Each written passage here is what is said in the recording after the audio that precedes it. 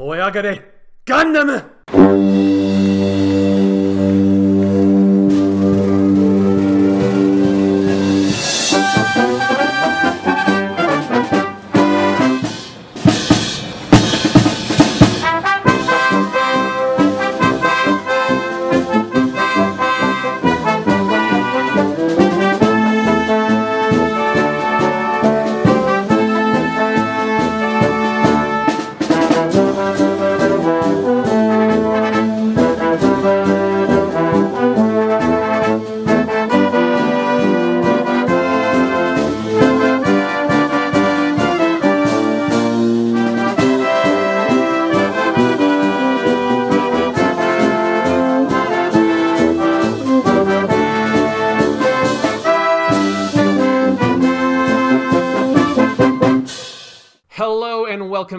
Weekly Suit Gundam, the special bonus podcast brought to you by the folks at the Weekly Stuff Podcast. I am Sean Chapman, And I'm Jonathan Lack.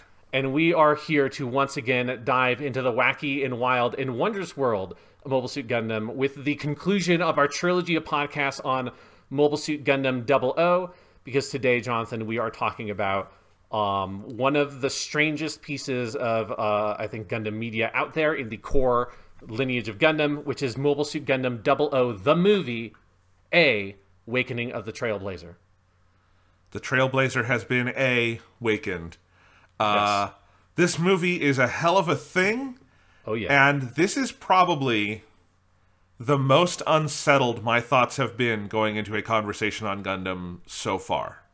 Yeah, and I will say this is easily the most my feelings on a Gundam thing have changed, and in this case, very much for the better, um, based on rewatching it. Because I was extremely unsettled on this movie the first time I watched it. It's this and G Reco were the two things that, like, when we started this podcast, I was I was very excited to revisit these specifically because I didn't know really how to feel about them. And rewatching this movie last night, I, I fucking love this movie. Holy shit. I I don't dislike it. I, I want to be clear. Like I am. This is not a. Do I think it's bad or good? It's. And, and it's not even like I like the ideas and the story points and let's just let's just let's quit bit, bit, you know beating around the bush. This is a movie about aliens. Yep. This is the big Gundam thing that deals with alien life.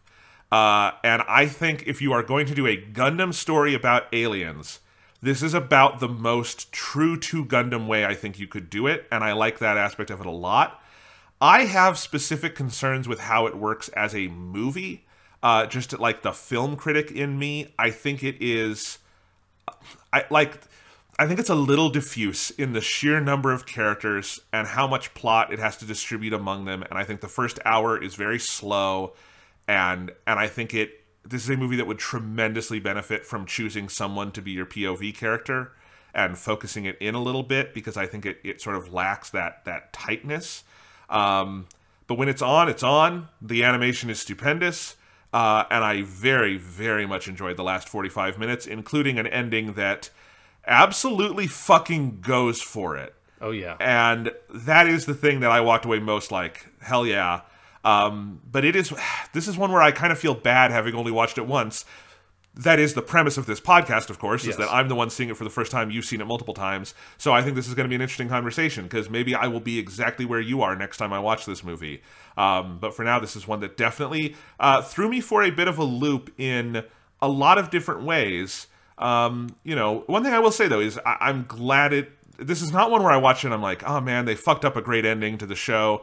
I'm glad this exists. This feels like a very valuable extension of what Double O is, um, and and like a very important part of that story and universe. Um, Seiji Mizushima is a hell of a director, um, but we'll get into all of that. This is a weird Yeah. movie. Yeah, no, it's yeah, it's it is really peculiar. Yeah, and I'm with you that I think like so this movie's like reception is kind of all over the place. I feel like I've I spent a lot of time the other day trying to like get a bead on like what is like the general take on this movie and I don't know. I can't tell. I feel like everyone feels differently about the movie. I don't I don't I feel like I'm probably like pretty far on the extreme end of liking it that there aren't a lot of people out there that I saw that like it as much as I have on this second viewing. Um, but yeah, there are some people that just despise this movie. There are a lot of people that are kind of neutral on it. There are a lot of people that like it quite a bit, but but maybe don't love it. Um, and that's true both for what I could find of the Japanese fan base and the American fan base. Um, I think it is just like I think it is a very difficult movie because it is relatively high concept. Like it's very like it's it's working mostly I think on like a metaphorical or a symbolic level. Like and very intentionally, it is trying to work in that space. Um, and it is also like arguably not even really the same genre as Gundam typically is. Like I don't even know if I would really call this a real robot show because like the real robot part of it is so like de-emphasized here. Um, so yeah, it's a peculiar movie that has uh, peculiar reception. Um, it did do quite well at the Japanese box office, like not like you know blowing down the house or anything, but it, like it, it was successful. Um, and it's reasonably enjoyed. But yeah, I, I, I did. There's no real like history part of this. Uh, the movie was something that they, you know, they wanted to make the movie. It's the same production team. It's the same cast. All that kind of stuff. It was made shortly after the end of the series. So you know, there's not really any additional history into how this movie came about because clearly they knew that this movie was coming. They had this idea. It's built very clearly into the TV show. They set up the idea of encountering extraterrestrial life, some of the specific symbolism that is like in the ending of Double O Gundam with the flower, but is like feels like it's actually exists to be used in the movie, like all that kind of stuff. It is not like there's a different story about how this movie came about. It is just purely an extension of the TV show. Yes, I mean the TV show even ends with the little text card saying mm-hmm. the movie is coming. There's more to this story. So yeah, they knew they were doing it all along. It's as I said before, it's the exact same format Seiji Mizushima's previous show, Full Metal Alchemist, had. The original Full Metal Alchemist was the same way. It just wasn't split into seasons. But they did all Full Metal Alchemist.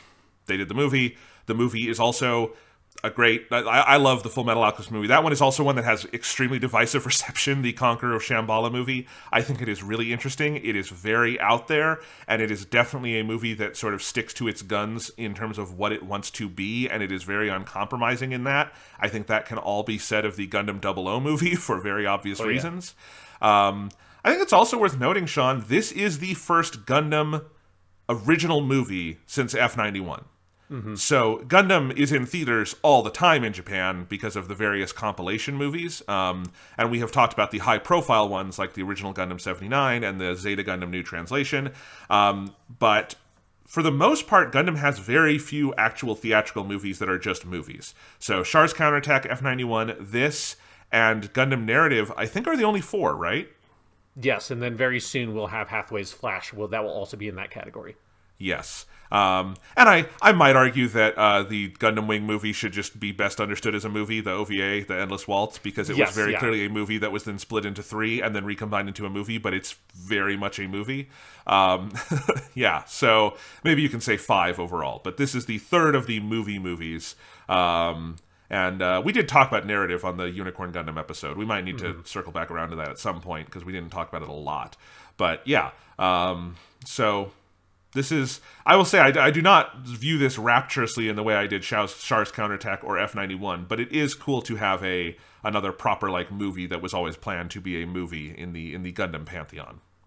Absolutely. So, so I don't want to give my big take on the movie yet because I want to hear yours, Jonathan. I want to hear more. How did you feel? What are your takeaways? What is Gundam Mobile Suit Gundam 00 the movie colon a awakening of the Trailblazer to you?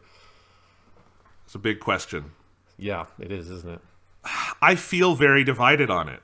I I think like I said earlier, my problems with it are not as a story. The story elements and I feel like this is where it's maybe divisive in the fandom is just that like dealing with aliens. I love that side of it. I think the idea that they decided to do a, a first contact alien story and they do it without those aliens ever speaking a single word in the entire movie or really like clearly communicating in any way other than the very 2001 tree of life experimental big flash that Setsuna gets at the end of the entire like creation and destruction of their entire form of life. That's the most like direct communication they have, but it's purely visual and operatic, you know. Uh, and and they're barely even humanoid. Like there's a couple of moments where they assume something resembling human shape, but it's very few and far between. For the most part, they are just hunks of metal. And that is what we are communicating with, fighting, dealing with throughout the entire movie. And I think, as a high concept piece of sci fi, that is fascinating. And I think it is executed, especially in the end, very well. in that it goes to some very big, broad places with it. And it is all in service of extending the central themes of the TV show into a big metaphor for this movie. Um, something very symbolic, as you say, Sean, about communication and understanding and pushing that to an absolute extremist point of these are things that do not look, feel, sound, act, behave anything like us. How do we understand them? And that is the fight of this entire movie. Um, that aspect of it, I love. Uh, Metal Setsuna at the end of the movie definitely threw me for a loop because that is one of the wackier images in the history of Gundam. Would you agree? Yes, but I will say that was like my main thing I remembered from this movie was just that ending because love it or hate it, that is a striking, memorable, Oh, yeah. incredible moment. Like I, When I, I say- love that fucking ending so much. When I say sticking to your guns, that's what I mean. Yeah. Of of showing us metal alien Setsuna at the end of your movie. Um, so so I like all of that. I think as a, like an arc for Setsuna and Celestial being in this universe, it works. I just have some like, and, this is where I need to watch it again because this is also sort of how I felt after like an initial viewing of F ninety one is just figuring out the pace of this thing. You know, this movie is sort of having to do th- the same thing season two had to do, but in a movie length, which is get the gang back together, start up the story again. You know, you've you've kind of reached a down point now. The story has to start up again, um, and I do think it has a very long first act that has a lot of exposition and a lot of jumping around from character to character. And I feel a little uns like Gundam 00 is a very ensemble focused show, and that is totally fine for a TV show, and it is a strength of that show. I think in a movie it can feel a little diffuse when you are jumping between characters and have no clear POV. Uh, you know, Setsuna is our main character, but is gone or quiet or just not there for very long stretches of this movie. Uh, I think the movie is overly concerned with having to touch base with every single character from the TV show. I think that is a problem that like it results in the the single clumsiest piece of writing in all of Gundam 00 is in this movie when you have the guy from the military who talks about Sergei Smirnov and I found that like a weird reading of Sergei Smirnov's entire life in Gundam 00 and like a weird attempt like since he's dead we still have to bring him up because we're mentioning every single character from that show. Um and some of the like like I don't know if I needed as much of Billy Katagiri as we had and his weird fan service girlfriend. Um, there's there's just like I, I wanted more focus at various parts of this. I don't think the movie finds an interesting place for Saji and Louise. Um, to the point where I wonder if it would be better for them not to be in it. But at that point, like they are so crucial to Gundam 00. Is it Gundam 00 without them? I wish they had found something more there for them. Um, so that's where I feel some messiness in just like its construction as a movie. But when this thing is cooking, uh, it is very well directed. The animation is great. The sheer scale of what they are imagining for the final like hour of this movie is incredible and something like especially for something that it was already as well animated as Gundam 00 is, you have to up the ante if you're going to do a movie. I do think they effectively up the ante. The battles are incredible. I think some of my favorite characters in terms of getting moments in this aren't the ones I would have expected. Like I think Graham Aker kind of steals the show at various mm-hmm. points and gets a phenomenal like that is one where I felt like I needed more of him at the end of the TV show Gundam 00, like just a final resolution, and we get it in the movie, and I'm perfectly satisfied with that. You know, um, and there's there's some other characters who I think get that kind of treatment. Um, there's some who don't have a lot of focus, but it's okay because I think they were pretty settled at the end of the show, like Sumeragi, uh, and she gets an entire like space station for the future named after her, so that's fucking great. Um, yeah, it's you know, it's a movie I want to watch again. It is a movie I want to digest again. It is definitely one that once you see the shape of where they are going with it and where they are pushing Setsuna and this world, it felt right to me in ways that I, I don't know if I can even verbalize, but like, okay, yes, this is the ending Gundam 00 wanted and needed to have. But also, like, man, what a fucking journey this show takes from starting in episode one with like the armed interventions and its very boots on the ground Gundam grounded to where they go at the end of this. And yet, the best thing I can say for Gundam 00 is I do think that evolution feels very organic to what they were doing uh, and principled as an artistic thing. So that is my opening slew of words. Does that even make sense? Yeah, no, yeah, I, I think yeah, because I think we're as is common. I think we're like more or less on the same page with like the strengths and the weaknesses of the movie, but maybe like uh, judge them slightly differently. Because, and I think that's very much what my take was the first time I watched it, of feeling like uh, some of this movie I'm finding a little bit like perplexing. Um, it's it, yeah, it feels sort of diffuse and kind of hard to get a hold of because the narrative perspective is it feels a little bit all over the place. It is, and yeah, I think it has a little bit too much of a tendency for sure of and I and it's you know I get where this comes from. You're making a thing that's a movie for a TV show, so you want to like make sure that everyone's favorite character at least gets some screen time. So so let's have someone say the name Sergei Smirnov, so everyone could be like, hey, Sergei's in it. At least you know his fucking shitty kid Andrei dies in this movie. Um, I'm sad he got a heroic death, but at least he's fucking dead. We can rest easy knowing that he's no longer in the world. Um, which I had forgotten. I didn't remember that he died. I didn't even remember he was in the movie. I'm glad. I'm glad they got rid of him. Um, but yeah, so it has a little bit of too much of that urge. Um, and but I was so intrigued at it, and um, like I said, I think a lot of like the major content of the plot of this movie in the years since I watched it, like if you had asked me a week ago what the plot of Double O Awakening of the Trailblazer was, I would have told you there are aliens in it.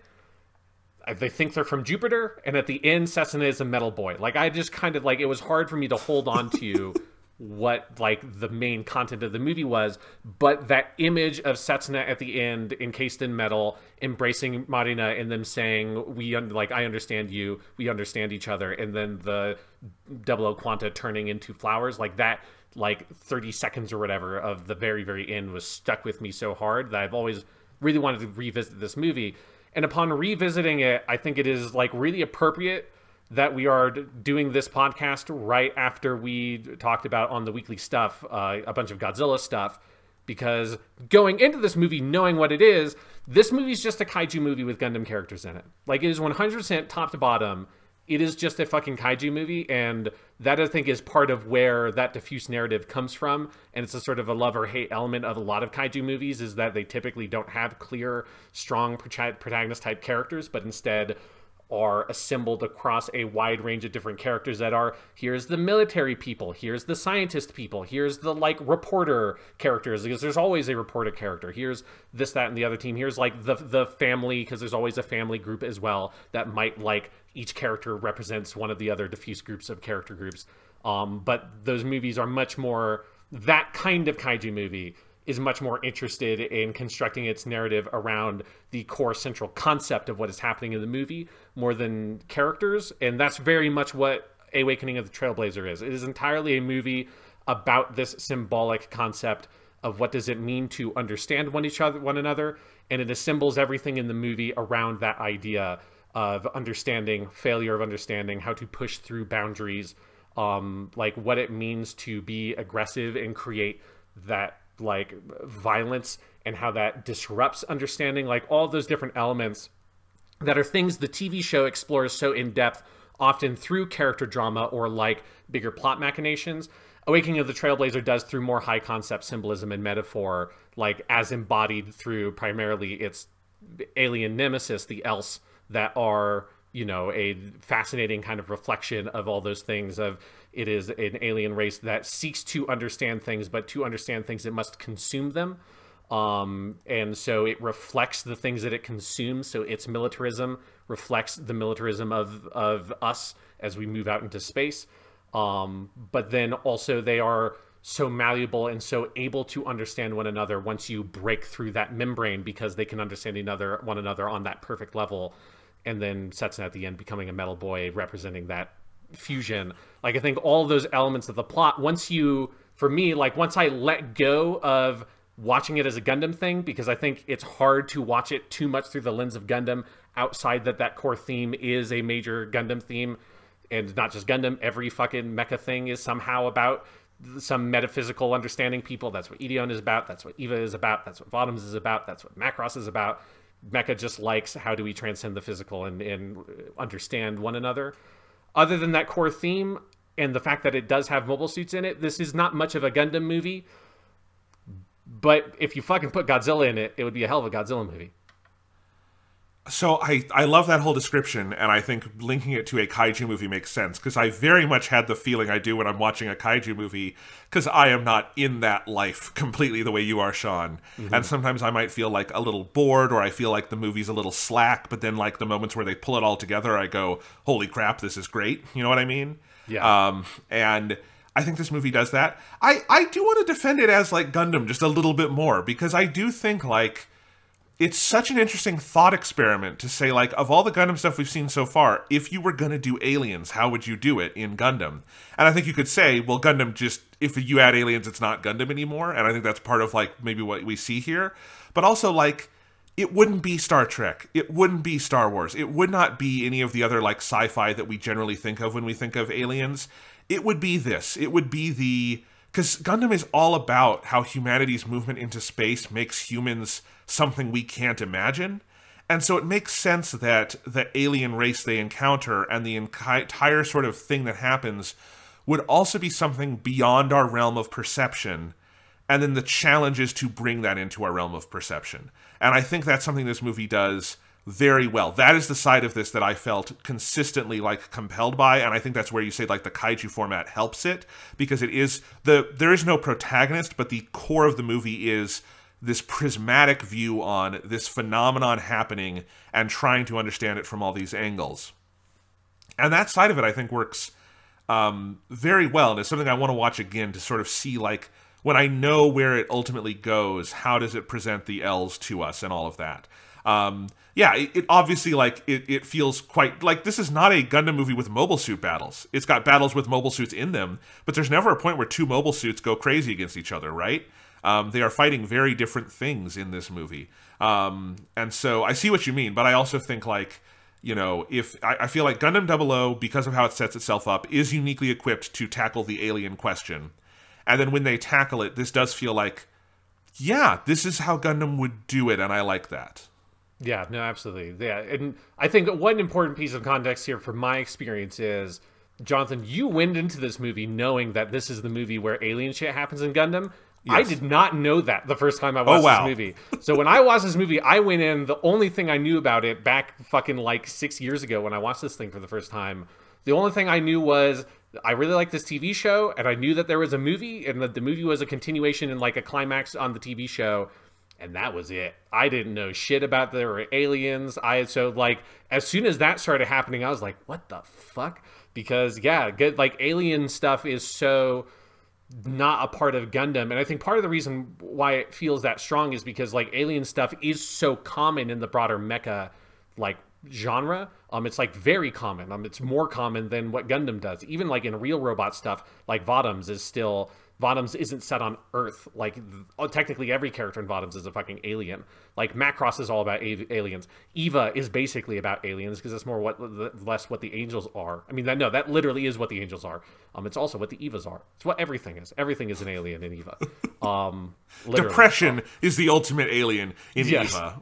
Um, but yeah, so it's like alien stuff is so common in the mecha genre and so I think it's like it's a particular thing that like it feels so kind of strange for it to to touch Gundam because Gundam has stayed away from it. You know, at the time that this movie came out, like what like. 30 fucking years basically uh 31 years uh and so yeah like it, it was like I really the first time I watched the movie just did not have the lens with which to kind of like process what it was doing. Um, but yes, like I do think like if you go in understanding part of what the premise of this movie is is effectively what if Gundam does an alien. Like I think it is by far the best that this franchise could hope to do that. Like I don't think it's something that Gundam should try often or maybe ever again. Um, but if like you're gonna do it, this is the way to do it. And yeah, and then if like this time when I went in understanding that that's what it is, knowing where it ends up and that kind of stuff, and like being able to put on that kaiju lens that like I realized like 15 into the movie minutes into the movie, like wait, if you just took out all the Gundam characters, and like halfway through the movie, Godzilla shows up, and then instead of space battles, the aliens just land on Earth and all because you wouldn't have the budget to do space shit. But they land on Earth, and then one of the aliens like becomes an evil Godzilla because it absorbs some of Godzilla. Like that's kind of just what the plot of Godzilla 2000 is. Um, like yes. it's like very much in that same realm. It is very easy to imagine like taking this script as a foundation and removing about 50% of it and then changing that 50% to be a more specific kaiju movie and you could just make it um, like it is so in that tradition it's kind of crazy yeah and i think that's probably what gives it the structure it does have mm-hmm. um, yeah it's it's a it's an interesting movie, Sean. Where should we where, where should we take it? Uh, you know what? Actually, one thing I wanted to say because you were on it. You um okay. Two thoughts I had while you were talking. Again. One, I want to commend you for making it through five hours of Gundam 00 podcast without spoiling that Setsuna becomes a metal boy. I yeah. don't know. That's like you making it through all of the original Gundam podcast without saying the word new type. I'm very impressed. Yeah, I'm- you need to re-listen to all those original podcasts and just spot all the times I almost say the word new type and have to stop myself and be like, hmm, this is like psychic bullshit hasn't happened yet in Gundam. Like, remember that, Jonathan? Remember when anything psychic had never happened in Gundam? How crazy Yes. is that uh, to to remember that there was a time when psychic shit did, just didn't exist? Uh, I also wanted to respond to earlier in this conversation you brought up the just the ending with Marina, and I know we'll get there. But when I say, and I said this earlier in like my my opening statement, um, that this felt like the right ending, I think one way it just feels emotionally right is the very clear, planned out structure of this series, where season one ends with Setsuna writing a letter to Marina trying to express his feelings, and season two ends with Marina writing a letter to Setsuna trying to express her feelings. And this movie, effectively part three, ends with them together, not really having to say anything and understanding each other's feelings. Uh, it's just it's it is really clear. Like even as you're like gawking at like holy crap, they went for it with crazy metal Setsuna. I would not have predicted that after episode one. It really does feel like this is a story they knew they were telling. That's the word I've used in all of our Gundam 00 conversations very confidently that this is a mm-hmm. show that started with purpose and ended with purpose and kept that purpose up. And it probably, it almost certainly went in directions you did not expect at the outset, but that does not mean they were not the organic directions that they always intended to go and did with with purpose and clarity. And that is a really cool thing for a for a work that is honestly pretty sprawling. It's two seasons and a movie made over 3 or 4 years. That's a big thing to do this precisely, you know? Yeah, and and the fact that like it feels like it was always made with the understanding of it having this trajectory, right? That it starts very grounded, and then as it goes on, it spirals more into science fiction, um, and it gets like more and more out there. And that's part of what this movie is. Is like I think if you're someone who was kind of put off by it getting a little bit more extreme in season two with the sci-fi stuff and the psychic stuff and a little bit more of like the kind of the uh, melodrama soap opera kind of like character dynamics that season two engaged in a little bit more like i think you're going to be put off by this movie because it is you know not with necessarily the soap opera stuff um but with the like that the concept the sci-fi stuff it like going away from this very grounded we are just enmeshed in this very powerful reflection of modern Earth, like geopolitics, uh, to ending with aliens and uh, like you know what is I am convinced to this day the synthesis ending of Mass Effect Three just like rips off the idea of like Double O Gundam you're right. does that. You're right. like- that's what fucking the Mass Effect. I mean, I'm sure it actually didn't. I'm, I don't know if the gun double uh, the Mass Effect people ever watched Double O Gundam, but it is like this is like what the idea of the synthesis ending in Mass Effect Three would be if like they could have gotten their head fully around. I think what that concept was about. Um, Yeah, this is a better Gundam- version of that, definitely. yeah, Double O Gundam executes that much more elegantly, and I like the ending of Mass Effect Three, but I think it's a lot messier than this. Um, but yeah, like that trajectory, it is if you really liked where you were and you didn't want to move, it might bum you out.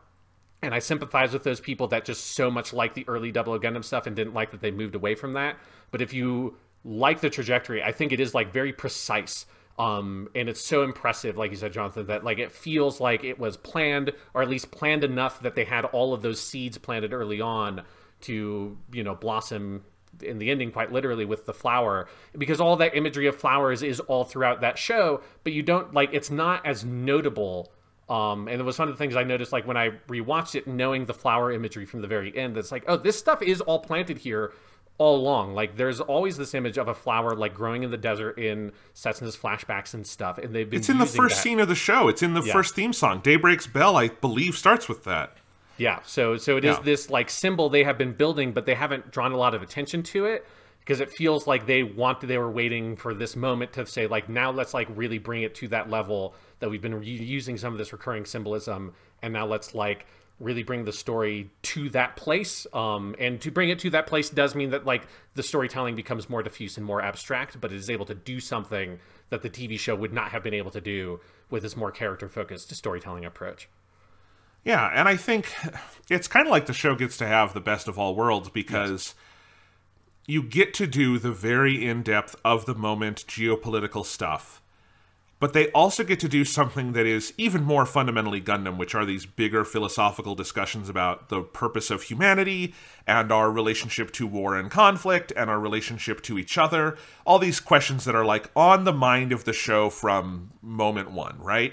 And are always there. And I think because of the specific trajectory, in that it starts very grounded and opens up, it never really loses that geopolitical sense. This movie does not deal with it much, although there is still like it lives in the DNA of the movie. Marina is a character trying to like find places for Middle Eastern refugees in this film, right? Mm-hmm. Like it, it's not a focus of this movie, but that is still something that informs it. And so what it is doing, it is it is it is drawing very explicit connections between our current moment of politics and much more eternal, always evolving conversations about humanity and I think doing that very gracefully over the course of the entire project that we now have full view of now that we've watched both seasons in the movie. Um, and that is something that just makes it feel like such a big, towering, special, unique Gundam work, you know? Absolutely, yeah. Yeah. And man, you talk about the flower. Mm-hmm. The there is definitely the the moment like I was a little unsure of this movie in a lot of ways, and I said like my thoughts are unsettled. The moment where I was watching this movie and I went, I am so glad this exists, and this feels like the right ending, is when you see the flower in space. Mm-hmm. When you do that cut, and you have, I think it's you see all the characters that we know looking at it, and then you see what the ship has transformed into, and they make the absolute right call to drop the mic and cut to credits right then, and we'll do the final scene after the credits but they need to let you digest that image because you just like the whole series just kind of snaps into place with that image. It's like the last little puzzle piece and it snaps into place and you see the full breadth of it. And I think you go, whether or not your thoughts on the movie are fully settled, mine still aren't, but you do go, I see the shape, this feels complete. And that's like one of the best things I can say for it, if that makes sense. Yeah, no, absolutely. And it's it's that thing where um i i feel like you that that specific like sequence in terms of like its direction is is like a pretty common particularly anime likes to do this of of that here's like we're going to cut to all the reactions and then we're going to cut to the thing that has like some like big symbolic like something has happened. I feel like usually when shows try to do that it is often not that effective because because while you're looking at the reaction shots you're imagining well what could it possibly be to like elicit the react this reaction in all these characters. And i feel like usually the actual reveal doesn't resonate because like the ground narr- like the narrative groundwork has not been laid for that symbol to carry the like implicit connotations it needs right? Because symbols don't need to be things that you can like understand on a like I can like break it down and like describe to you in a you know I'm an English teacher. So it's like I don't need to write like the paragraph response or whatever to tell you what the fucking green light in the Great Gatsby means right? If it's supposed to be an effective symbol it should be able to affect its narrative impact on you whether you can explain that narrative impact or not. And I feel like a lot of times that requires narrative groundwork done within the story itself not things that you can assume like an assumed shared experience from an audience is just going to come in knowing that a flower should represent this for Double Gundam or whatever. You have to set those ideas of symbols up within the narrative work itself. Um, and this is, I think, maybe the most successful version of one of those sequences I've seen where because they have been so thoughtful about it, even if you've not been picking it up consciously, they've been using this image of the flower to represent all these ideas about like the beauty of life, like the struggle of life of, of flower of this one lone flower in the desert, the single flower that felt gives uh, Setsuna that still is alive even though it's in space with him, right? Like this idea of life persisting um, in this beautiful, passive, peaceful way, and life thriving on its own um, in the, the visage of a flower, like that symbol is so thoroughly established by the full preceding narrative that yeah, like my jaw dropped, even though I knew it was coming. That was one of the other things I, I vaguely remembered was like the flower space station at the end. Um, but like my jaw still dropped when I saw it because I think it is such an effective like use of that technique in a way that I am talking about some symbolism stuff in my ninth grade class right now, and I really wish that they were all massive Gundam fans because this would be such a good example to use, um, rather than having to think of fucking like fairy tales or some bullshit. It's like, why can't we all have just like watched 50 episodes of Double O Gundam in the movie? Because then you all would understand what symbolism is because it's so good here. I would love if you just out of the blue showed your kids the last 10 minutes of Gundam 00 and see if like now react what does that symbol mean and they would all just be like are you okay Mr. Chapman what happened How could? Why do you not understand what it means when the man shows up and now he's made of metal and kisses the blind old or the hugs the blind older woman while the murder machine turns into flowers? Like, come on, this is very easy stuff. I love Gundam, Sean. This is one of those moments where I step back and I go, I love that this thing exists and we can make these jokes. It's mm-hmm. wonderful. Yeah. I God, oh man, you're talking about symbols. The Gundam as a symbol, like that's something we could make a whole podcast about, you know, just like how has the Gundam been used as a symbol over the course of this series? And and I feel like Gundam 00 might be the richest vein of that in any Gundam show for like how many visages the Gundam takes on and how many meanings it has. It is an angel to Setsuna. It is a god to Setsuna. It is a devil in some cases in the hands of certain characters. Um, it is a symbol of hope. It is a symbol of rebirth. It is a superhero. And in the end, here, like it is this machine of death that becomes this literal flowering of life. It is something that can quantize and literally escape the physical boundaries. It is all these different things. And this is like, I, I love works where symbols are not fixed, you know, Yeah. and a symbol can be multiple things. And I feel like Gundam 00, one of the things that makes it feel so fresh and, and like both of a piece with Gundam the series, but also free enough to play with Gundam the series, is that the symbol of the Gundam means different things. Like Gundam Seed. I really like Gundam Seed. You really like Gundam Seed. The Gundam doesn't mean anything, I think, different than the Gundam typically means in Gundam Seed. Gundam 00 is really thinking about like what can the Gundam be and what can it mean. Um, and it's helped by having some of the best mobile suit designs in the series in that we have you know like 30 Gundams over the course of the show, but we also have 3 for Setsuna and they are all fucking killer knockout designs. But they all just grow to mean different things to you as a character, or you as a viewer. Um, and and I really just truly love um, that last image and that we end on the Gundam as a symbol and a transformed symbol. And what is more um, evocative of the arc of Double O than having the last shot be the war machine that started all of this end by being in a field producing and blooming flowers from its body. Like that is that is Gundam Double O in a nutshell in one image.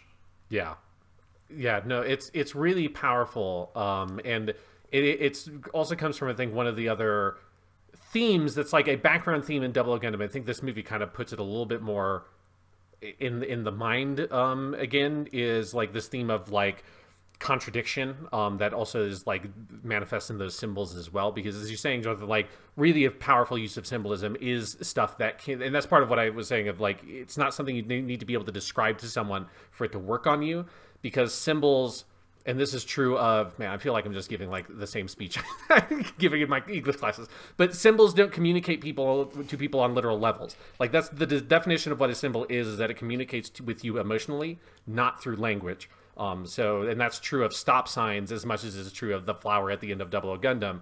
The reason why a stop sign a red octagon is an effective use of road signage is because you can spot it from a great distance away and as soon as you see it once you have learned the meaning of the symbol you process it on an instinctual emotional level and feel the emotion of stop and you should be stopping right? Um, and that's what a good symbols do is that they communicate with you on an emotional level. Good narrative symbols contain lots of different meanings and oftentimes if it's really a powerful work those meanings can be contradictory but it still works because it's not literal because you're processes, processing it emotionally and emotions are self-contradictory and so Yeah. one of like yeah, so one of the core elements of Double O Gundam that's been there since episode one, because they do a callback line with Graham Aker back to something he says in episode one in this movie, uh, is that celestial beings' existence itself is contradictory, right?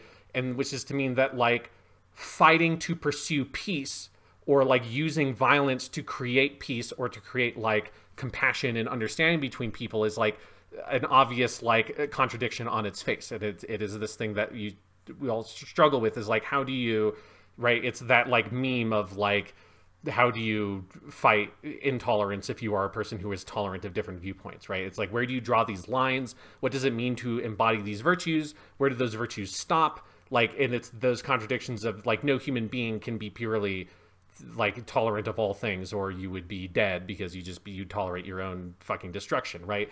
In the same way that you can't just sort of achieve the ideal of peace just by being passive and hoping for peace for people you do need to fight for it even if that fighting may cause more conflict. Um, and that's sort of one of the core elements of this show is dealing with those contradictions um, and i love that the that contradiction embodied in the gundam right? That the Gundam is both a devil and it's an angel, right?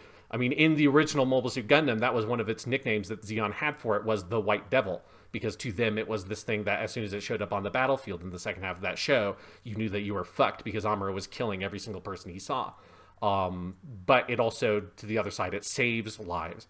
Um, and for Setsuna, it represents a, a saving angel, and then at the end, it finds that it's actually the fallen angel Ribbons that is the one piloting it. Um, and so the Gundam is this thing that is this weapon meant to create peace, which is something that is a contradiction in and of itself. And I love the way that that ending embodies that vision through the the idea of the Gundam blossoming into flowers. That that it can be both of these things in this narrative world. That it can be both this weapon, but that also it can represent peace at the same time, and it embodies that contradiction so powerfully. Absolutely. Um, you know, so our, our last episode, you, you mentioned this earlier, of the Weekly Stuff podcast, our other podcast, uh, like, listen, and subscribe. Um, we did the, we talked about Godzilla versus Kong and the other some other Godzilla movies and the previous legendary Godzilla movies. Um, and since that podcast came out, there was a piece by the critic Matt Zoller-Seitz in mm-hmm. Vulture um, about basically just t- talking about why he loves the legendary MonsterVerse movies.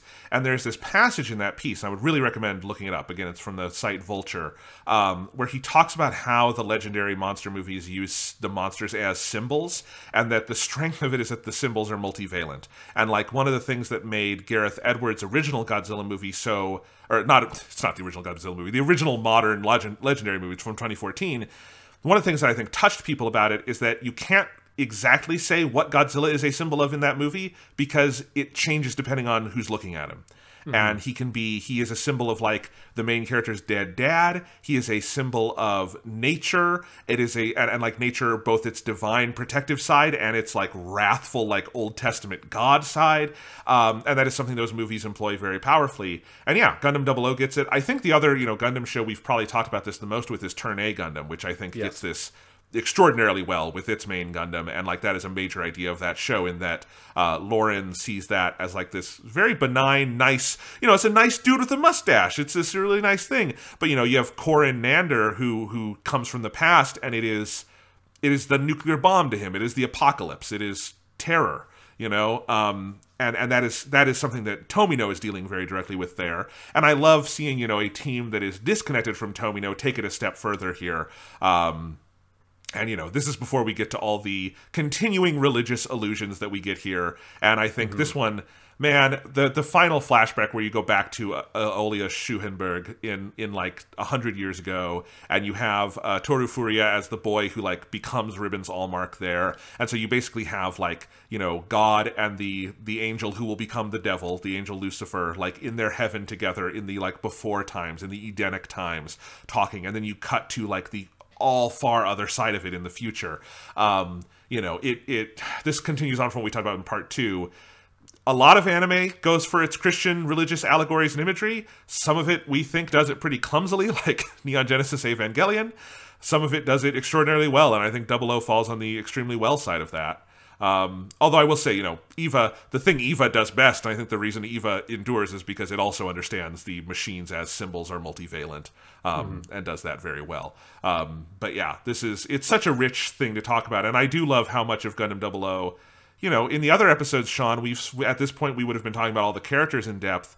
But this movie just gives you so much on that symbolic and visual level to talk about. That's where we are 45 minutes in, is still talking about this, and it's great. It's a very rich conversation. Yeah, yeah, because I I don't know if like there's really much of a point to break it down character by character because it's not with the you know there's a couple of characters like Setsuna will have to like address his specific arc, but like But yes, like like the movie's not interested that much in the specific character arcs. It's interested in how do you construct a story to express these ideas. But yeah, yeah, but yeah, let's because I, I also want to hit on that scene at the end just because it does follow up from one of the main things we talked about last episode was season two of where season two like really brings all the religious symbolism and imagery to the forefront. And yeah it is a thing i really appreciate because it is something that anime toys with all the time. And i think eva is a pretty good example of it being a thing that like it's like vaguely evocative but it doesn't feel like it has anything underneath it with the christian imagery um, because it just feels like you pulled some references to the Dead Sea Scrolls. You named things angels, and like you you use the like words Genesis in the English language title, right? Like you pull some of like the uh, the surface level elements of those images, but I don't think that show outside of like a couple of things like Kaoru um in his arc like is not that interested in really diving into what those things represent and what they mean um and like their narrative elements and here, Double O Gundam is extremely interested in that, right? And it feels very well learned. Um, not to say that it's like this one to one allegory for fucking Paradise Lost or some shit, um, but it is pulling on those elements so strongly um, that yes, like again, whether you are like aware of Christian mythological elements or not, like that scene with Aeolia Schuenberg and yeah, like the the basis of Ribbons Almark, like it, we, like it reads so powerfully as this like the architect of the future explaining his vision of humans as this you know humans as a creature in that biblical sense that is capable of both good and evil and him trying to construct a pathway for humans to be able to to express the good side of it right? To let the evil go back on earth and expand out into the heavens and only take the good parts with them right? Um as part of his vision of, of what he wants to build for them um, and yeah, like I think like those elements, um, you know, as someone who is not a Christian, but like I find those pieces of Christian mythology very compelling. I think this show like hits on those things really well. It's the kind of thing like if you like stuff like the book in the show is also pretty good. Good Omens, the Neil Gaiman and Terry Pratchett book uh, that got turned into an Amazon show. Like it hits on a similar like the angel devil stuff and hits like those similar ideas in a way that I think is very compelling even to people who are not super steeped in like that whole world and what's going on there. Um, it's using that imagery and the substance behind it so effectively. Yeah, I mean, we're talking about mythologies here. You know, it, it, it's almost like your devoutness. That's not the purpose. We're talking about these yeah. as like myths and things that we build our understand because myths are ways we process the world, right? That's how that's yeah. why they exist. Um, and so yeah, it feels very true. Like if you literally, if you were to try to you know read Gundam 00 and all the like Aeolia, I can never say his name, Mr. Schuenberg stuff. Mm-hmm. If you were to you know try to do that in a very literal way and be like tie him, I don't know, to Steve Jobs or something. Like it would be patently ridiculous, right? And you yes. would say it's like weirdly patriarchal and all this stuff. But you can't. You, you you just can't. That's not the point. The point is a much more like he is distant and godlike, and this one little flashback is the most extended look at him we get outside of the the first episode. You know um, eh, that you know Toru Furuya is as a voice is this thing that comes from the past and echoes through as this Lucifer figure. You know that's how you've you've kind of got to look at it, and on that register it works very well. Yeah. Although now I am imagining Aeolia Schuhenberg as like a Steve Jobs figure, and instead his like statement in episode one of Gundam Double O, he'd be wearing a turtleneck and walking around on stage with a laser pointer. That'd be very different, though. Yeah, it'd be a different TV show, but I'd, I'd watch that too. And one more thing, no more war. Um, yes, so I do want to let's talk about the characters for just a little bit because I do one thing I want to say is one thing I do like about so like I said earlier, I think it it goes a little overboard with trying to touch base with every character, and I think it uses some better than others. This is also a problem, by the way. The Full Metal Alchemist movie, also by Mizushima, has the same problem. I assume when they give them the budget for the movie, someone at the studio, you know, kind of nudges them in the ribs and says, you do have to get all the fan favorite characters in. We want the applause moments in the theater. And I have seen Conqueror of Shambhala, the Full Metal Alchemist movie, in a theater. It gets the applause moments. It's very good at it. And I think this movie probably did the same thing.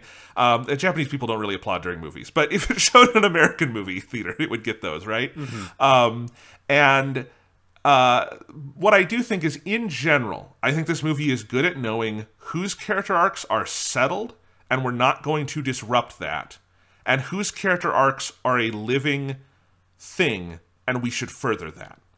So Sumeragi is a settled character. I don't think we need a lot with her, and so she is there and she plays her role, but we don't need to like reopen that book because we we closed it.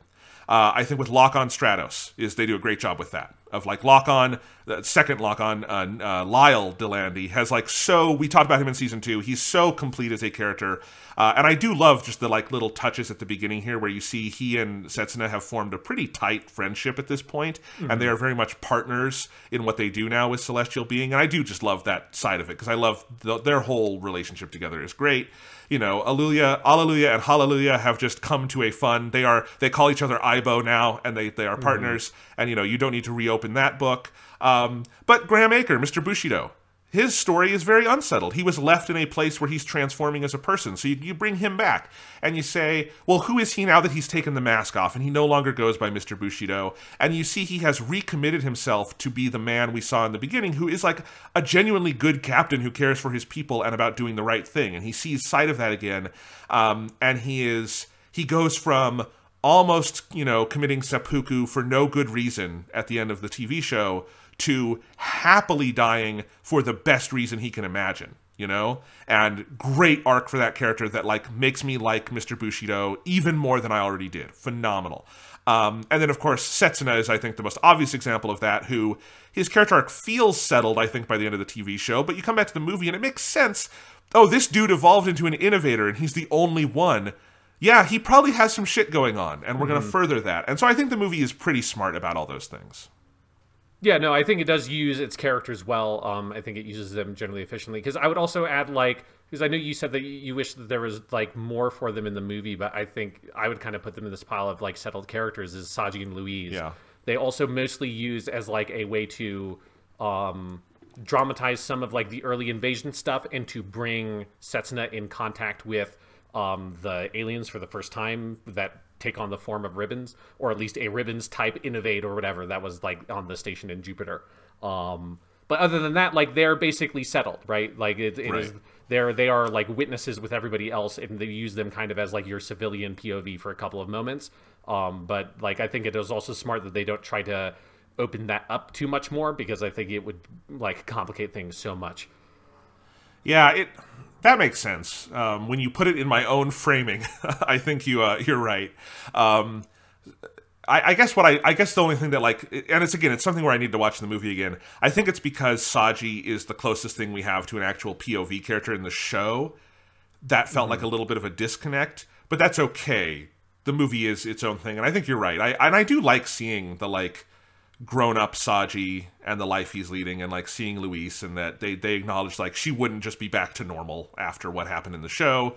That's all good. Um and yeah, and I think like the moment that probably sells it for me with all of this and all these characters is the big musical montage near the end mm-hmm. where you have Setsuna jumping between everybody and seeing them all and so you see Saji out there on the space station working and he sees all of his you know companions in the battlefield and even some of his enemies um, and I think you feel like everyone is sort of in the right place for where they need to be yes yeah that I think it uses those characters effectively yes and for Saji specifically I do really love when you see him and it's like it, it highlights how much his character has grown, right? That he like voluntarily runs out there to go help like on that space station they're on and like he's repairing or whatever like the hole and he's helping them out and like going out there and putting himself in danger and risking his life for other people um and yeah and just like getting that you see you know part of that is like Setsuna getting to see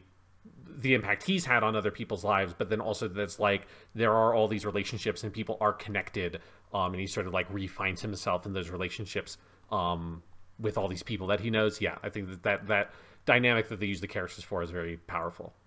Because it's kind of funny when when we first meet, or when Setsuna first meets Saji and Louise here, and, and they have the fight with the the metal Ribbons Almark.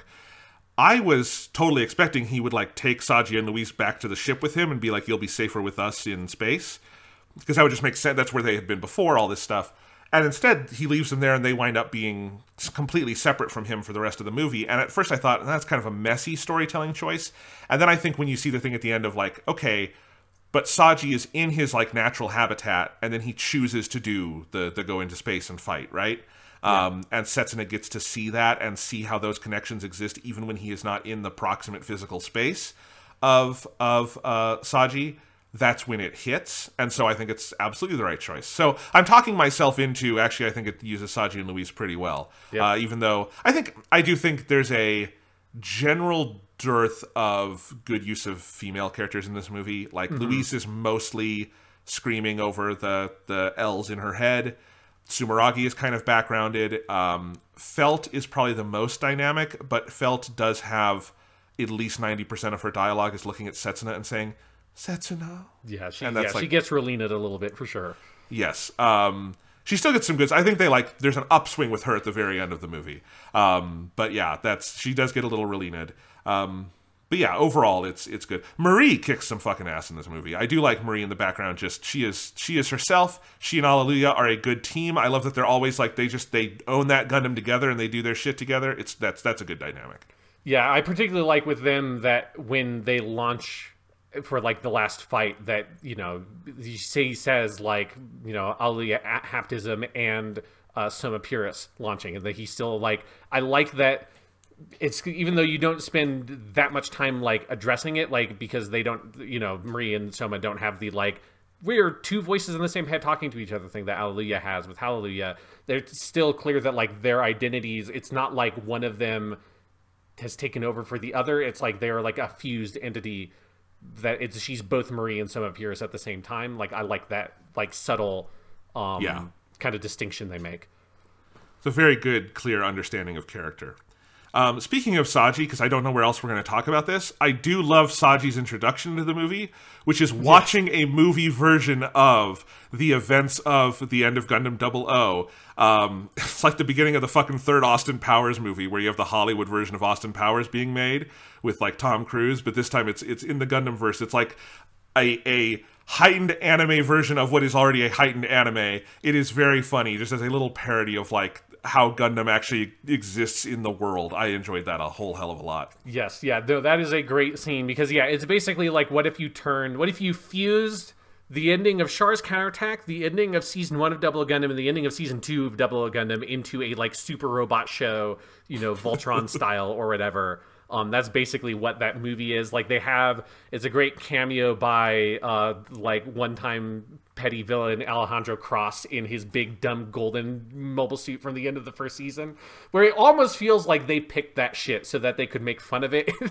this movie. Yes. Um, and yes, and I I love that so much. My favorite shot is when they have the like um like the full team shot where all four of the fake uh Gundam Meisters like cut in and you see like they have someone who's like it like vaguely looks like Setsuna like if it was Captain Harlock from if people know what Captain Harlock is another like manga anime series of the you know he's got like a scar I think he, I don't know if I he love he's got has- the scar on his face. It's great. yeah, he's got the scar. I don't know if he actually has an eye patch, but he definitely has like his hair over one of his eyes and has like that whole like dramatic look. Um, and then like the other three are just completely off base, including one of them that looks like she's like a, like a it's like there's like a twelve year old girl or something instead of Allelujah, and it's like this is very good. This is very. Well, it looked like I thought it was supposed to be like Nena Trinity, is what it looked like. Like just a totally mixed up detail. It's a girl with pink hair. It's great. Yeah, it's yeah, it's just very it's a very funny scene. And then the other part I like about it is like I I I won because so this movie, if you have not seen the TV show, would be completely unwatchable. Like there's no way Right. you'd be able to make any sense of anything because it just does not bother to introduce the characters to you, which is I think the right choice because it, this movie would end up being like two and a half to three hours long if it had to do all of that too. Um, so, but I do like that it, it just like throws this vague random bone at the beginning of the movie of like, if here's here's what got us to the, the celestial beings a thing and there are some people it's like i love the idea of imagining you know you were someone who really loved double o gundam and but you had a friend who had never seen it and you're like oh well i want to go watch the movie and they're like oh sure i'll watch it with you. I haven't really seen the tv show. And just imagining someone who has not seen the source material watching this movie and that because that is the moment where movies do the and here's like the little thing that kind of reintroduces you into the universe that will give a new audience member the bare essentials and it's like you would not be able to uh, go very far into this movie with the essentials that they give you in that little intro scene Nope. yeah, that would be funny. I also love Saji sitting there with his friend and Saji being like, I was there. It didn't happen like this. And the friend just being like, oh man, this is crazy. And the friend doesn't know that Saji was there for what is being depicted. It's great. Yes, yeah, I like like he like very quietly says like I think they glorified it a little bit. the guys are like, well, don't, all, don't all movies do that? He's like, yeah, sure, I don't know. yeah, it's very funny.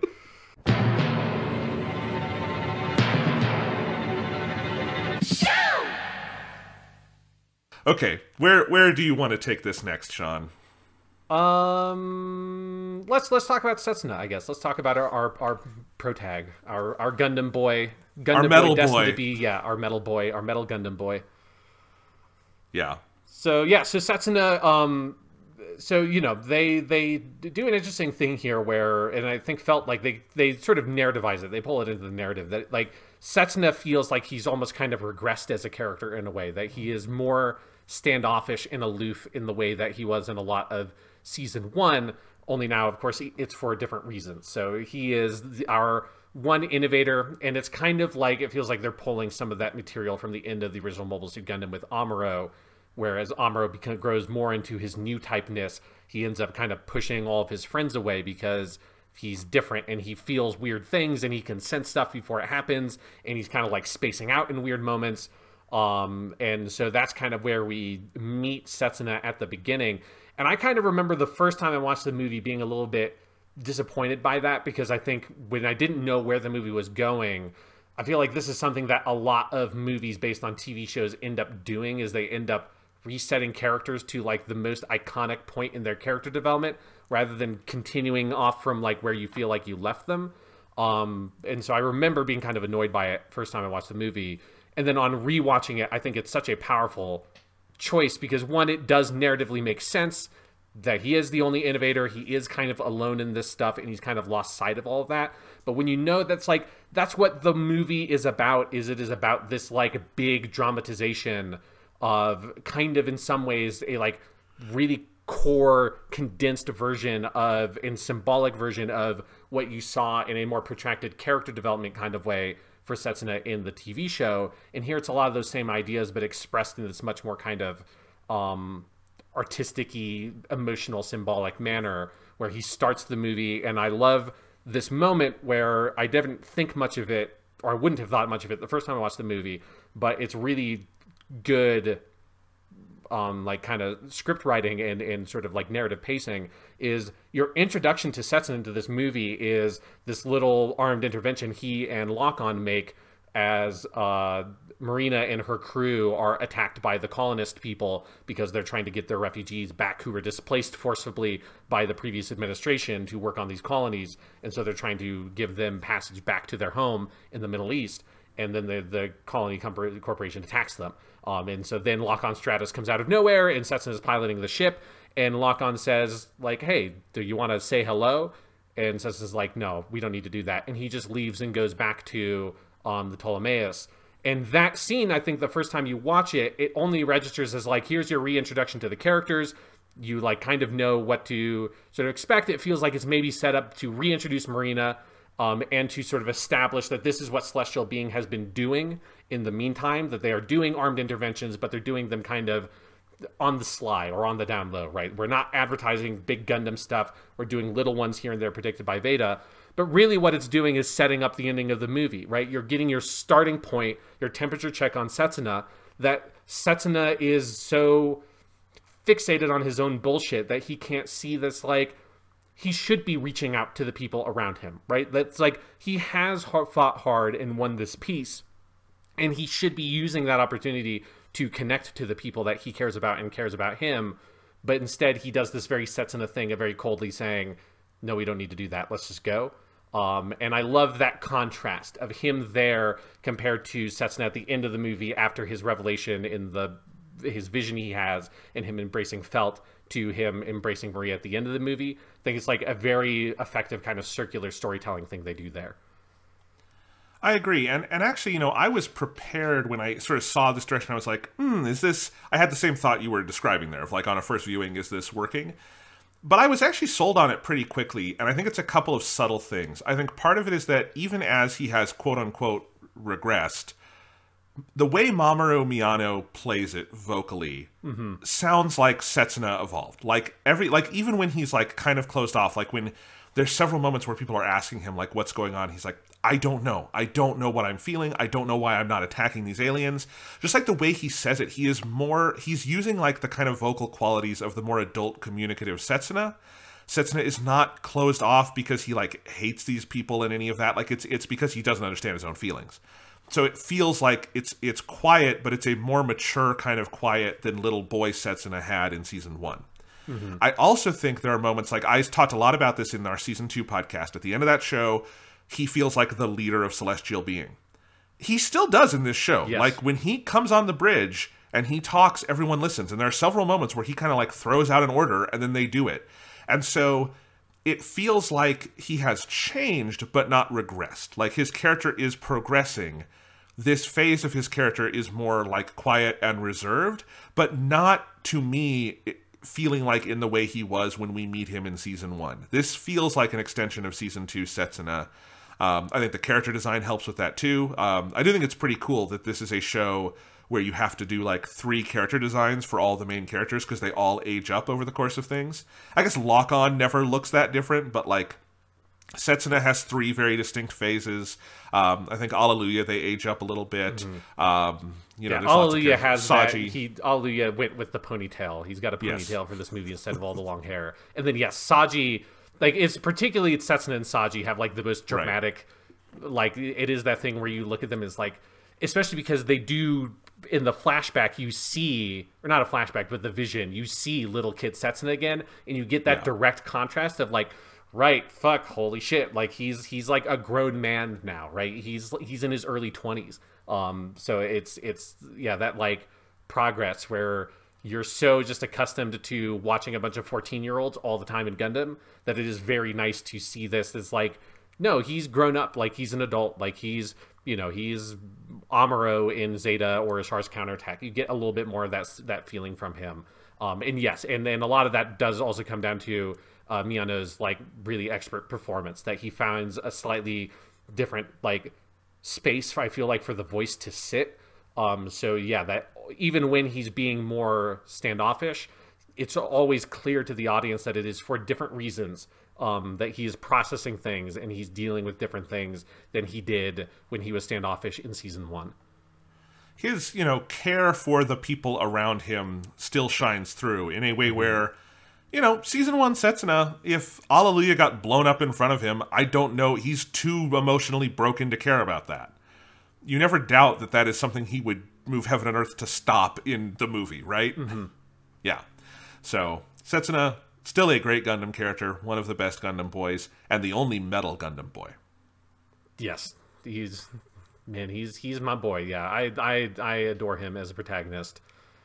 Should So, we so talk? ab- yeah. Speaking of metal, let's. Should we just talk more about the ELS and and how they are introduced and Mm-hmm. used throughout this movie? Yeah, so I love this shit so fucking much. It's just such. It's not you know a purely original alien concept. Like I said, it's it's somewhat similar to stuff you see in Godzilla 2000. It's obviously a little bit inspired by the T1000 as well. Um, you know your whole liquid metal thing. Um, but I I love two things about them. One is I just think like as a creature it serves as such a potent metaphor for everything that the show is dealing with with trying to understand each other of like destroying each other in your attempt to understand one another. It's reflection of the things it comes into contact with. Um, it's like pure alienness right? That it's not you know and especially since it's anime it's much easier to do it this way than if you're doing this the live action thing it'd be insanely expensive to do. So that's one of the reasons why in live action just like paint someone green and they're an alien and you're good or you put like a puppet um, here you have this utterly alien concept of a race um, that lives in the heart of gas giants. I love that they are they're not originally from Jupiter, but they're from a Jupiter-esque planet, and so they went here and ended up here and are living in Jupiter. And so that's just a cool alien concept. That's like they don't even live on like terrestrial planets. Um, they are so far outside the concept of what we would normally consider to be life. Um, and so all that is rad. The other thing I love about them is what they allow to do for in terms of action. It feels like something that they, you know, they could not have done this on the TV show just purely from a budgetary standpoint. There's so much complexity in what happens in the action scenes. There's so much movement happening all the time because of the sheer volume of these uh, things and how many different shapes and forms they take. It is something that just like feels expensive in terms of animation budget while you're watching it because it just it seems it's the kind of thing that like you can't reuse stuff or find like a lot use a lot of like your cheap kind of outs that animation uses all the time to sort of like make things easier. Here, this feels like something that on a TV budget, a lot of these action scenes, it just would not have been feasible. Um, and so it feels like they are using the full range of their movie budget to achieve a concept that like you just would not have been able to do anything like this uh, on a TV on the TV version. Uh, absolutely, it's so good. Um, I. I and there's kind of multiple phases of it, right? So you have when they're like just rocks at the beginning, and sometimes they're rocks that like spurt out of people, but you're not sure what more they are than that. You have the entire phase where they are just literally invisible and controlling like the not controlling the cars they are becoming the cars we come to learn. But we don't know are these like like at first this i just knew there were aliens. I didn't know what form they were going to take. And at first i was wondering like can we not see them? And that's why they're like driving the cars. And so you get some very fun, inventive action sequences like Allelujah and Marie's introduction to the movie basically is them being chased by those cars, and there's some really good stuff there. Yeah. Um, but yeah, as it goes along, like every basically every space battle in this movie is more visually ambitious than the one before it, as the ELS are like introduced to us and they take on more forms and they do more shit. Um, and yeah, it's I like what you said about it being something that feels like movie esque. I love that they picked something like that that very firmly distinguishes this as a movie. You could not do this on the TV show, even a TV show as phenomenally well animated as Gundam 00, and that is what you know makes this feel like the the movie theatrical. This is this would be very cool to go see in a theater. You know. Yeah, because you just have in that last fight, you just have some of those like cuts that are unfucking believable. Where yeah, you have like I think maybe my favorite one is Allelujah like flying his ship as like the whole train of the ELS is following him and he's just firing missiles behind him and so it's just this explosion of lights um it's and yeah there's just a lot of really powerful like frenetic movement um and yeah it just feels like they they just fucking go hardcore on just animating every little detail of like the undulating surfaces and the ELS as they like shift and they transform into things and the massive volume of them. It's it's just really really phenomenal stuff. That's great. I love that cut you talked about. I feel like all of the shield bits on Lockon's Gundam, they were mm-hmm. made for this. As yeah. cool as they were in the series, they were made for fighting these fucking ELS because they are used so well. He basically has the same kind of wings that um, Amuro has uh, in, uh, in, in the, with the Gundam. Neat, uh, what's it called? The new Gundam the new Gundam in uh, in in Char's counterattack, and is using those, and they look so cool. Uh, I think this uses CGI really well yeah. um, because CGI in anime is a fraught topic that we will not solve today um, because that's a much bigger discussion. We will um, talk about that in with Kimetsu no Yaiba uh, when we do that podcast. We'll talk about how you use digital stuff in animation uh, phenomenally well.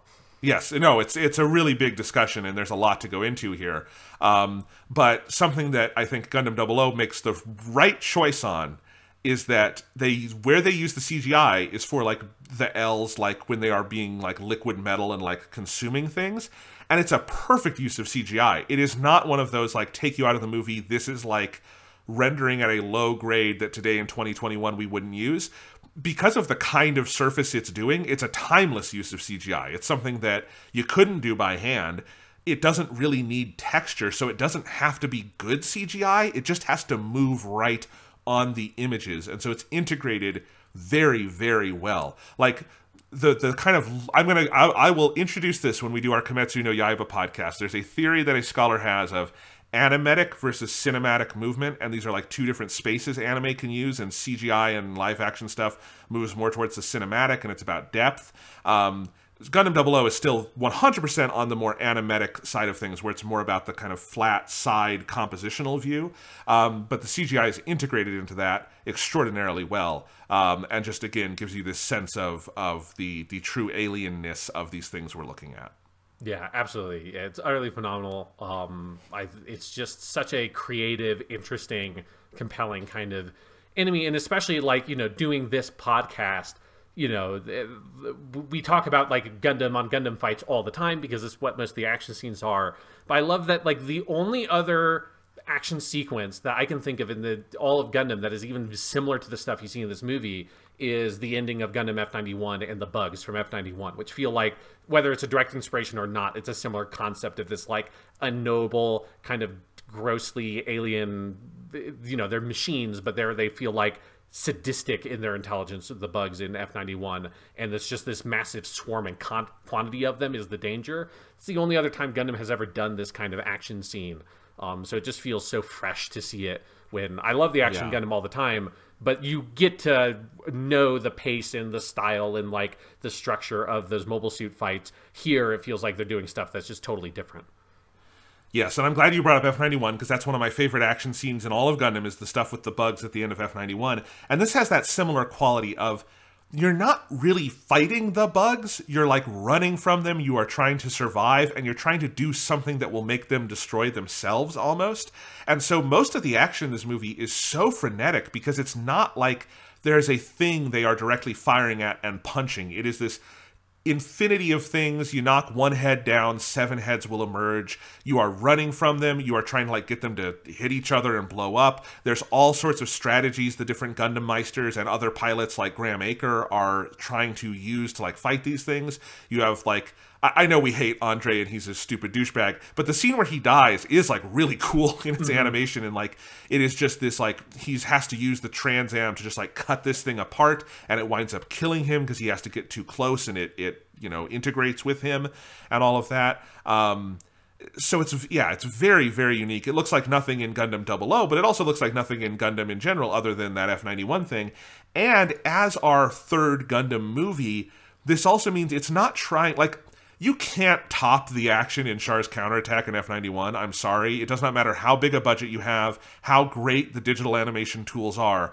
The storyboarding and the cuts and the animation quality is just too good in those movies to ever top. So, if you're making the next Gundam movie, don't do something different and they do. This doesn't have action remotely like those movies really other than the sense i think there is a certain sense like in char's counterattack of just the sheer scale of the battle going on here but it's a completely different kind of battle. Uh, and so it doesn't you're not watching this comparing it to other gundam things which is always i mean fuck this is this was the 31st anniversary of the show.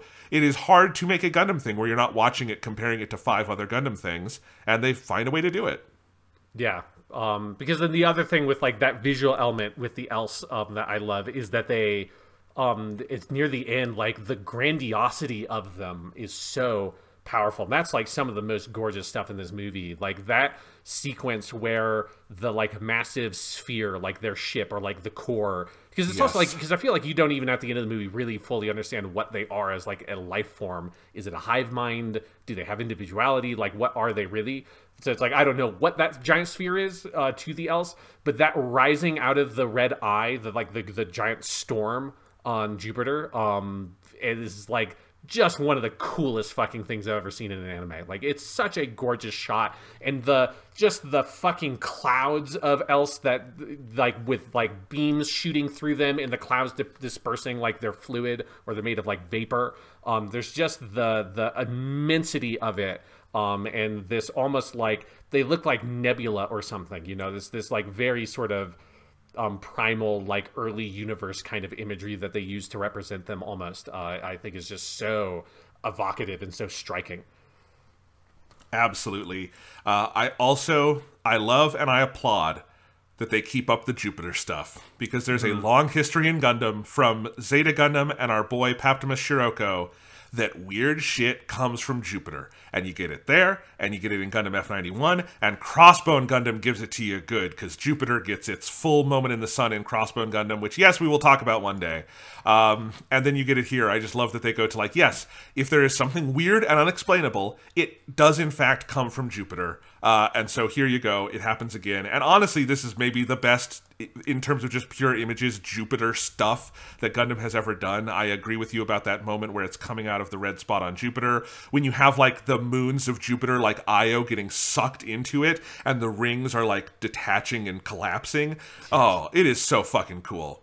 Yeah, and and I do, Jonathan. I have to correct you uh, a little bit because you said the weird stuff from Jupiter starts with Zeta Gundam. It does not. It starts with the original Gundam because that's where my boy Shalia Bull, the new type Shalia Bull, Right. he is from Jupiter. So it goes back all the way to the fucking tap, baby. Uh, it is it is weird shit is out in Jupiter, and yes, this is for me. This is the best weird shit in Jupiter. Like maybe in like science fiction. Like Jupiter's like a really I think like aesthetically interesting planet. Like you know, it's the biggest planet in in our solar system, obviously, but it's just like the swirling storms of the surface, quote unquote, surface of Jupiter.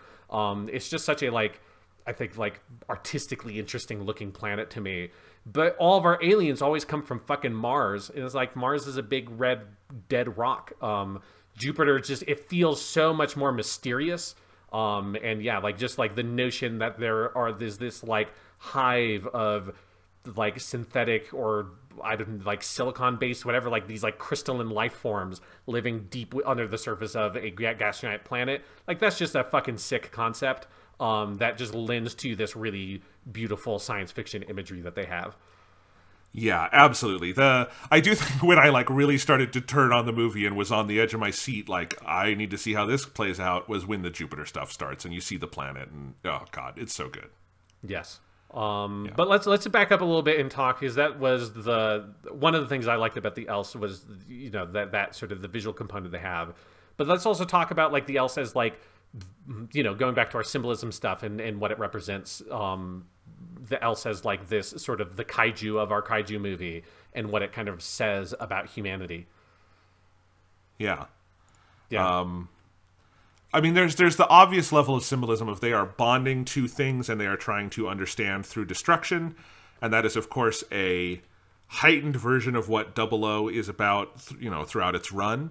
Um, but then they are also, you know, completely alien and foreign within that, and the process of understanding becomes inherently violent, and that is also part of what Double O is about.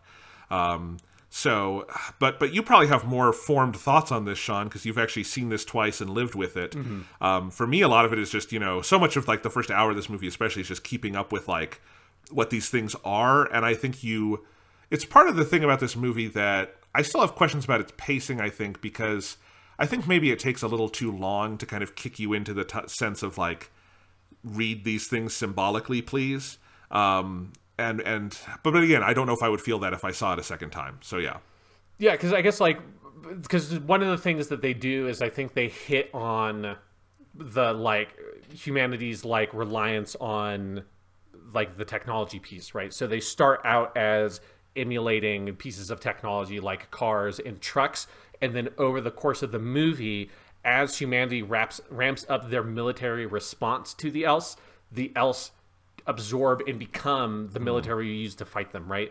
So it becomes this like very direct metaphor for, you know, violence begets violence, right? That like your armed response is going to incur an equivalent response from whoever you are fighting, specifically with the ELS. So that sequence at the end of the movie where they have been these like shapeless kind of forms for a lot of the movie or they like turn into like vaguely alien looking ships or like missiles almost. And then they and then they start absorbing our missiles and start turning into like what look like human missiles. Um, and then at the end in that big fight they start turning into mobile suits. And then they start turning into capital ships. Um, and they start becoming exactly our military response. And i think that that like direct like confrontation with like weapons technology and military technology as this thing that because this is what we give them it's what they become. And so it reflects on the like violent instincts of humanity. And it's like one of the reasons why i think when you know looking at the first encounter that Setsuna has with them, I suspect that that's like one of the reasons why Setsuna doesn't know how to respond to them is because he knows like in his bones as an innovator like he understands the more violence we use against them the more violence they're going to give back to us. It's like the more we put into them the more they're going to put back out to us. So we need to figure out a different way to resolve this conflict um, and he can't figure it out until the end of the movie. But that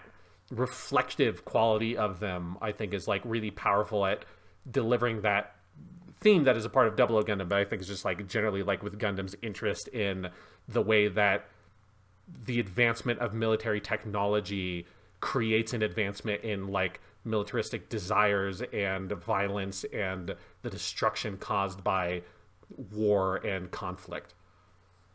There's an interesting thread at the beginning of this movie that sort of gets dropped for obvious reasons, but you have the president of the Federation having conversations about this, like, sort of uh, extremist group out in space that we see Marina fighting against, you know.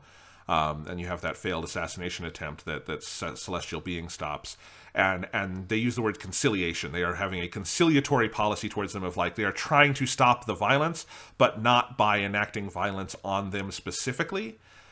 And that is sort of a preview of everything that is to come because what Marina does in that first scene where she like has the gun on her but tries to talk the gunman down and after Lockon comes in and saves her, she still goes over to him and tries to like give him peace and understanding and empathy that is a little synecdoche of what mm. the actual right way to deal with the um, with the ELS is, right?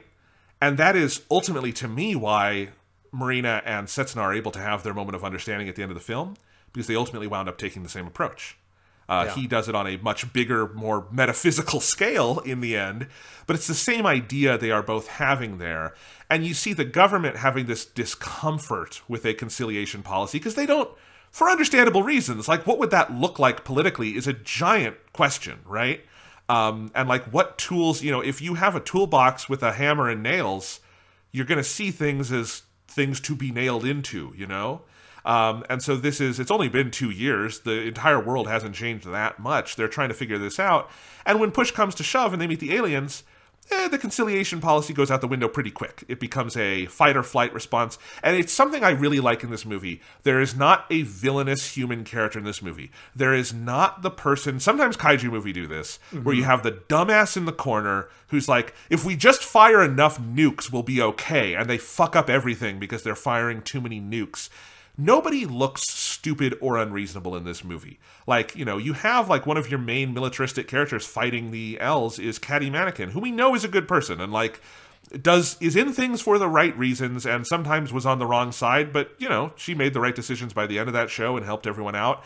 And she is in this for the right reasons. And the movie is not condemning her for wanting to fight the ELS because it knows that's a very reasonable human thing to think that if this thing is coming in and tearing bodies apart with all this metal stuff, that you will have that fight or flight response if we have to fight back. And so Setsuna's transformation beyond the human is really that transformation beyond those basic instincts, right? That transformation beyond seeing things as enemies to be fought and trying for something completely different at the end of this movie. And that's what being an innovator ultimately is and ultimately means. It is look, th- their their word choice is not subtle here. It is an innovation yeah. to be able to do radically what humans are clumsily trying to do at the beginning of this movie, which is peace and conciliation, which does not come natural to us not because we are inherently bad, but for reasons that we understand and empathize with. The movie is not judgment like that's part of why the movie has an interesting view of humanity is it is not a nihilistic view of humanity there, but it is a view of where, you know, what are the things that hold us back and what are the innovations that we need to make to actually have these kinds of peace and understanding. And that's what this movie is actualizing through through all of this.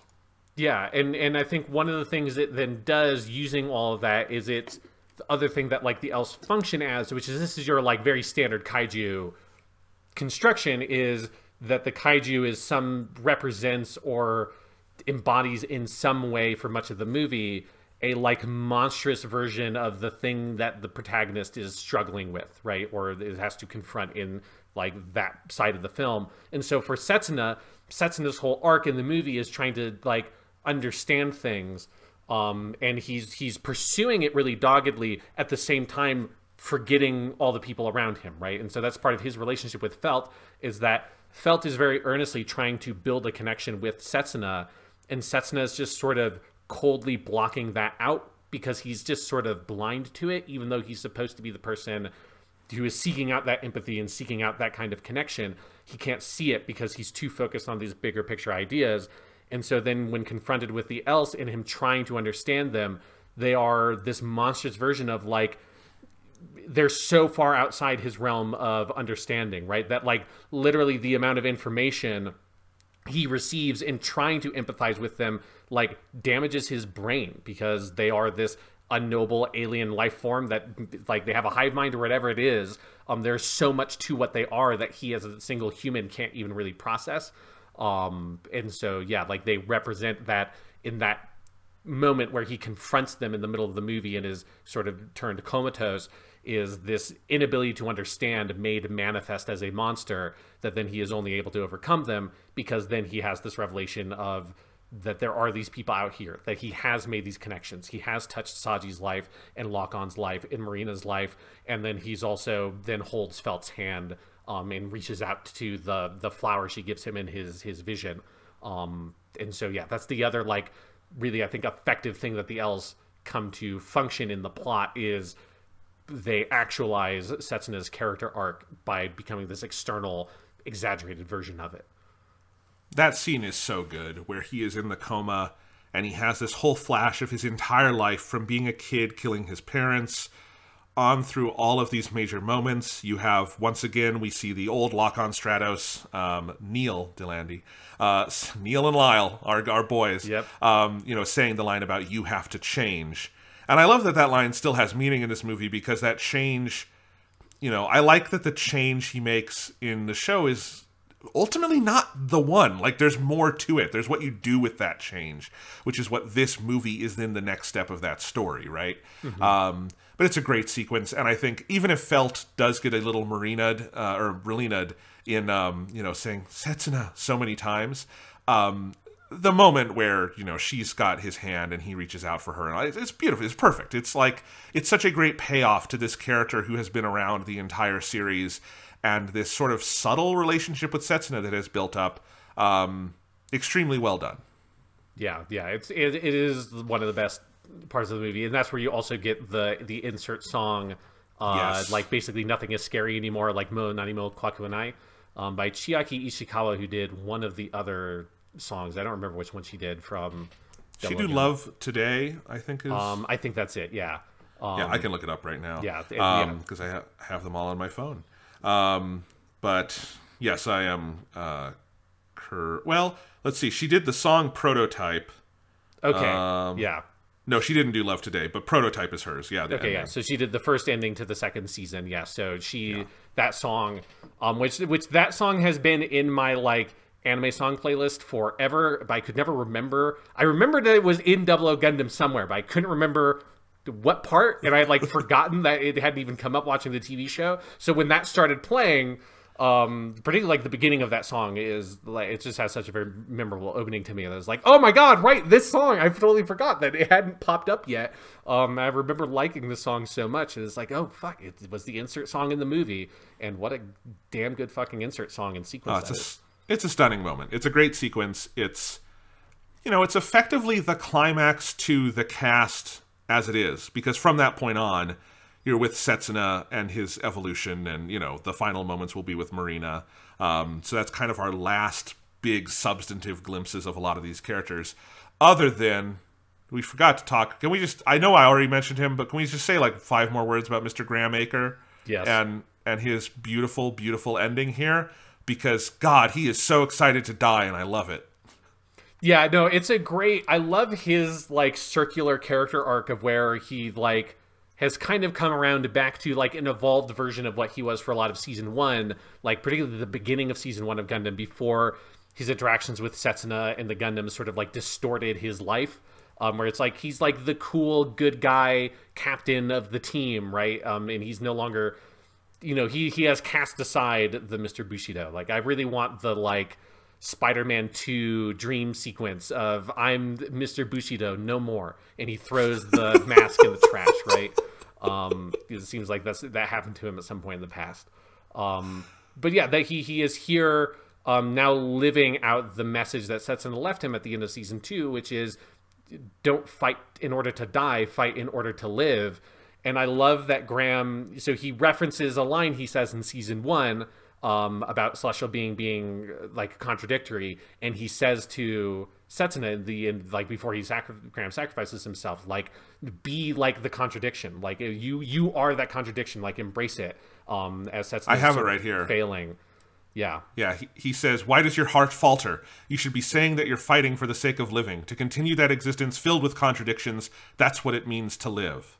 Go forth, young man, you'll live and blaze a trail to the future. yes, because he is the trailblazer, is uh, Setsuna F. Seiei, and he has awakened. Um, yeah, so he says like em- like be those contradictions, embrace the contradictions, because that is what it means to live. And then right after he says that, basically he goes, he flies in and he like sacrifices himself, saying like this isn't dying. I have it.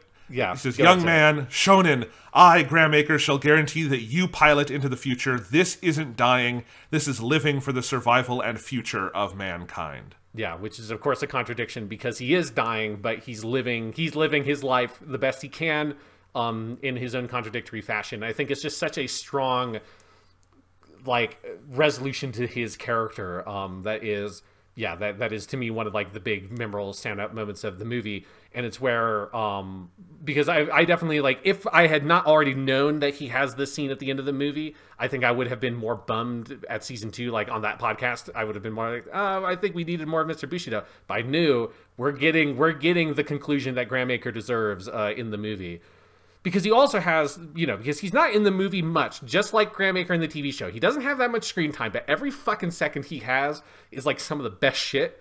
Um, because he also has the scene where he, um, where Setsuna is comatose and he comes up, um, and talks to Felt and talks about his relationship with Setsuna, um, and, which is just a very powerful moment to me of him, like, this relationship that they have where they are like apart for so much they have very little interaction and yet is like to me like the most meaningful character relationship in this whole fucking series is graham and setsuna. At the end i don't think setsuna even knows his name because when when graham dies setsuna just says that man basically "Hano otoko," um and and like dot dot dot um and he knows who Graham is, but like their relationship is like they were never friends. He never knew his name. Graham never, I don't know if he ever finds out Setsuna's name because he always calls him Shonen because that's a cool thing to call your protagonist in the Gundam show.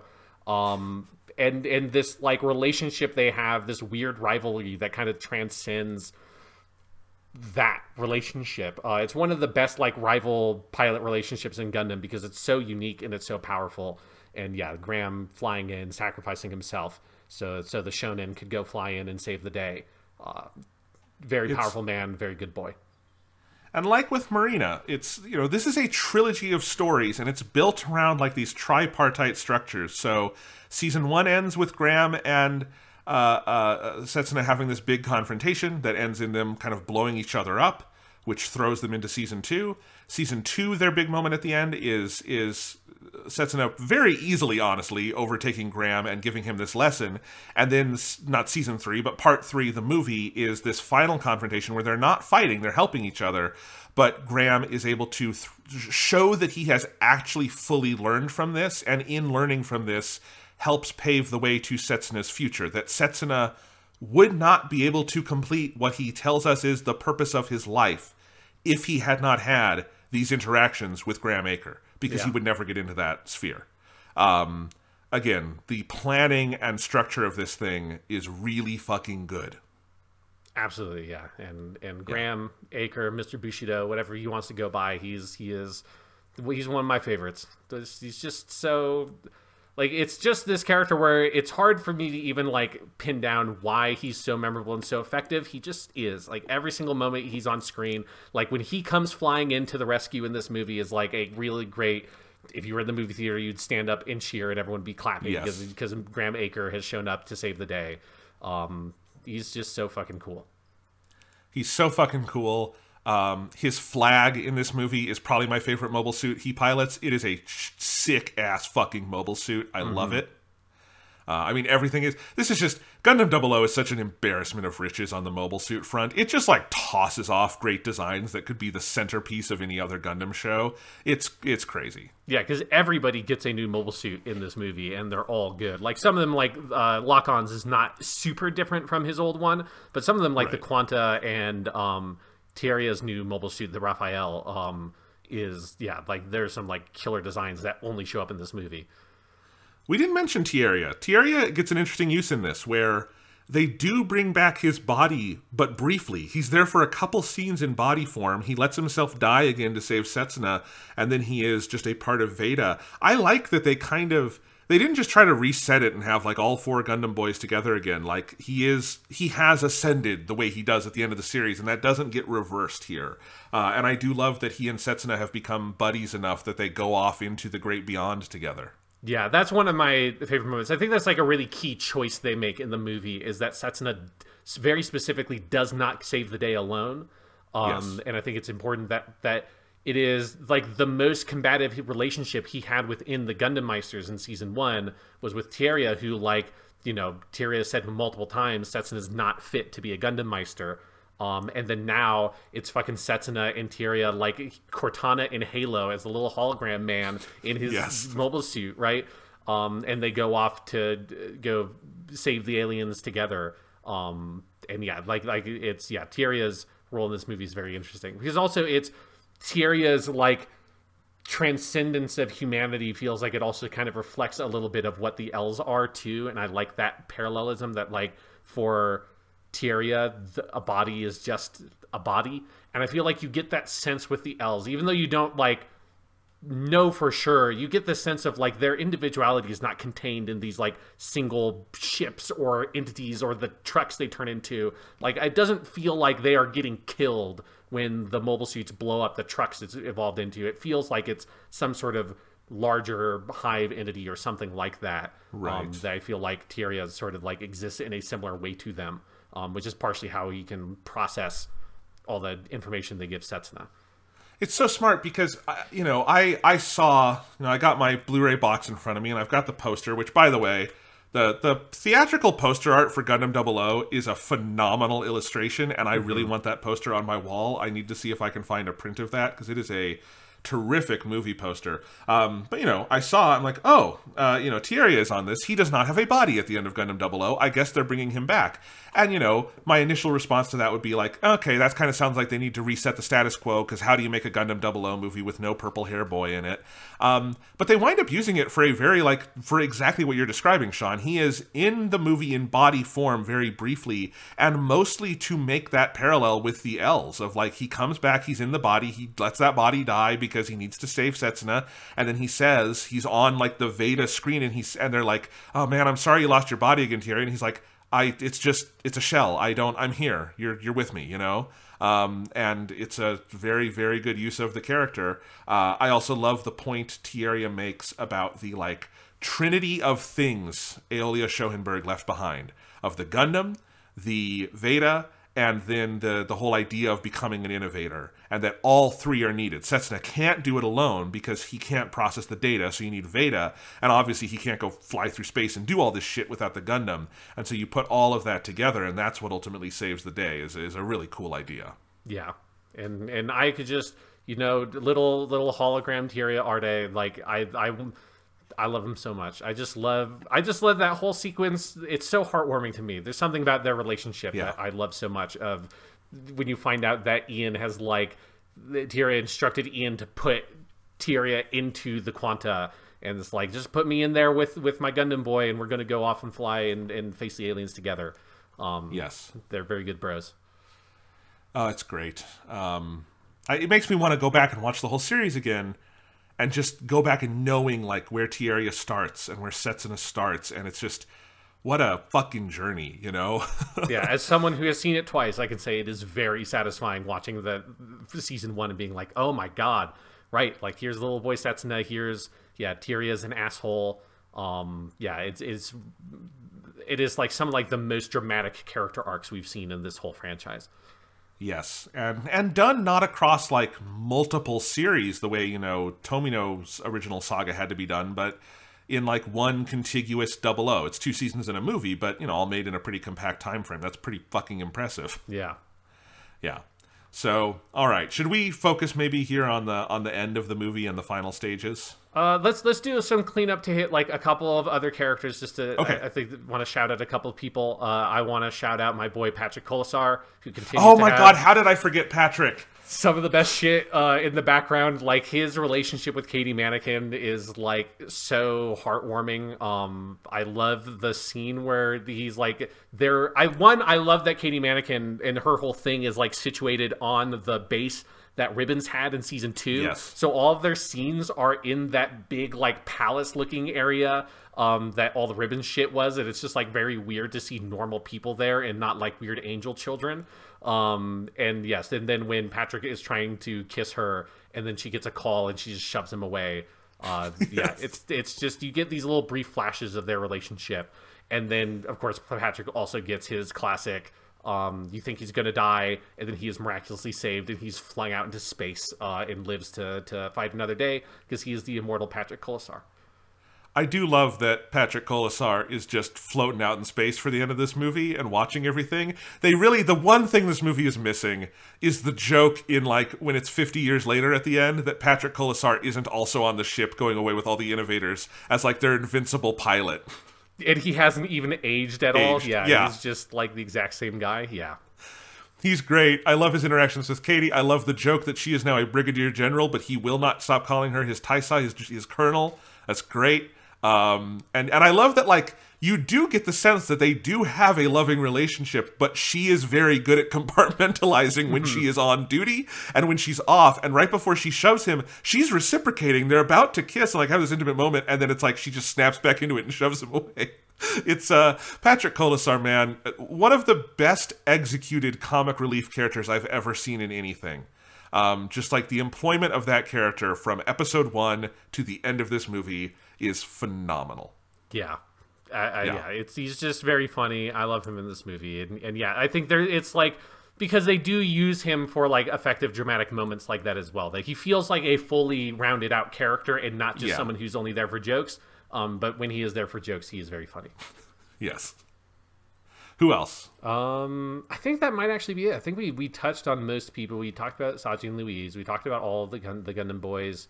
Um, there is like I, you know I don't know if we have to like talk about it much. I do like there's um they introduced that one other innovator who's like the one on the side of the military that they kind of used for that big action scene.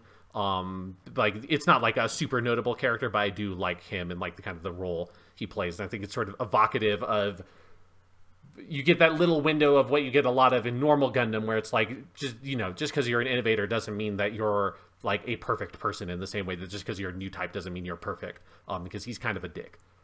That I agree, but that definitely felt like a kind of vestigial arm of the movie that sort of I was I was recapping the movie for myself before we did the podcast and like skipping through scenes and I saw him and I'd already forgotten that that was an arm of the movie because it's introduced, he seems significant and then he's killed in that fight midway through and it just I don't know, it felt it feels a little vestigial to me. I do like the idea of having this other innovator out there. Uh, the voice actor for that character is really good, but it, it didn't it doesn't really add up to anything um, at least on my first viewing.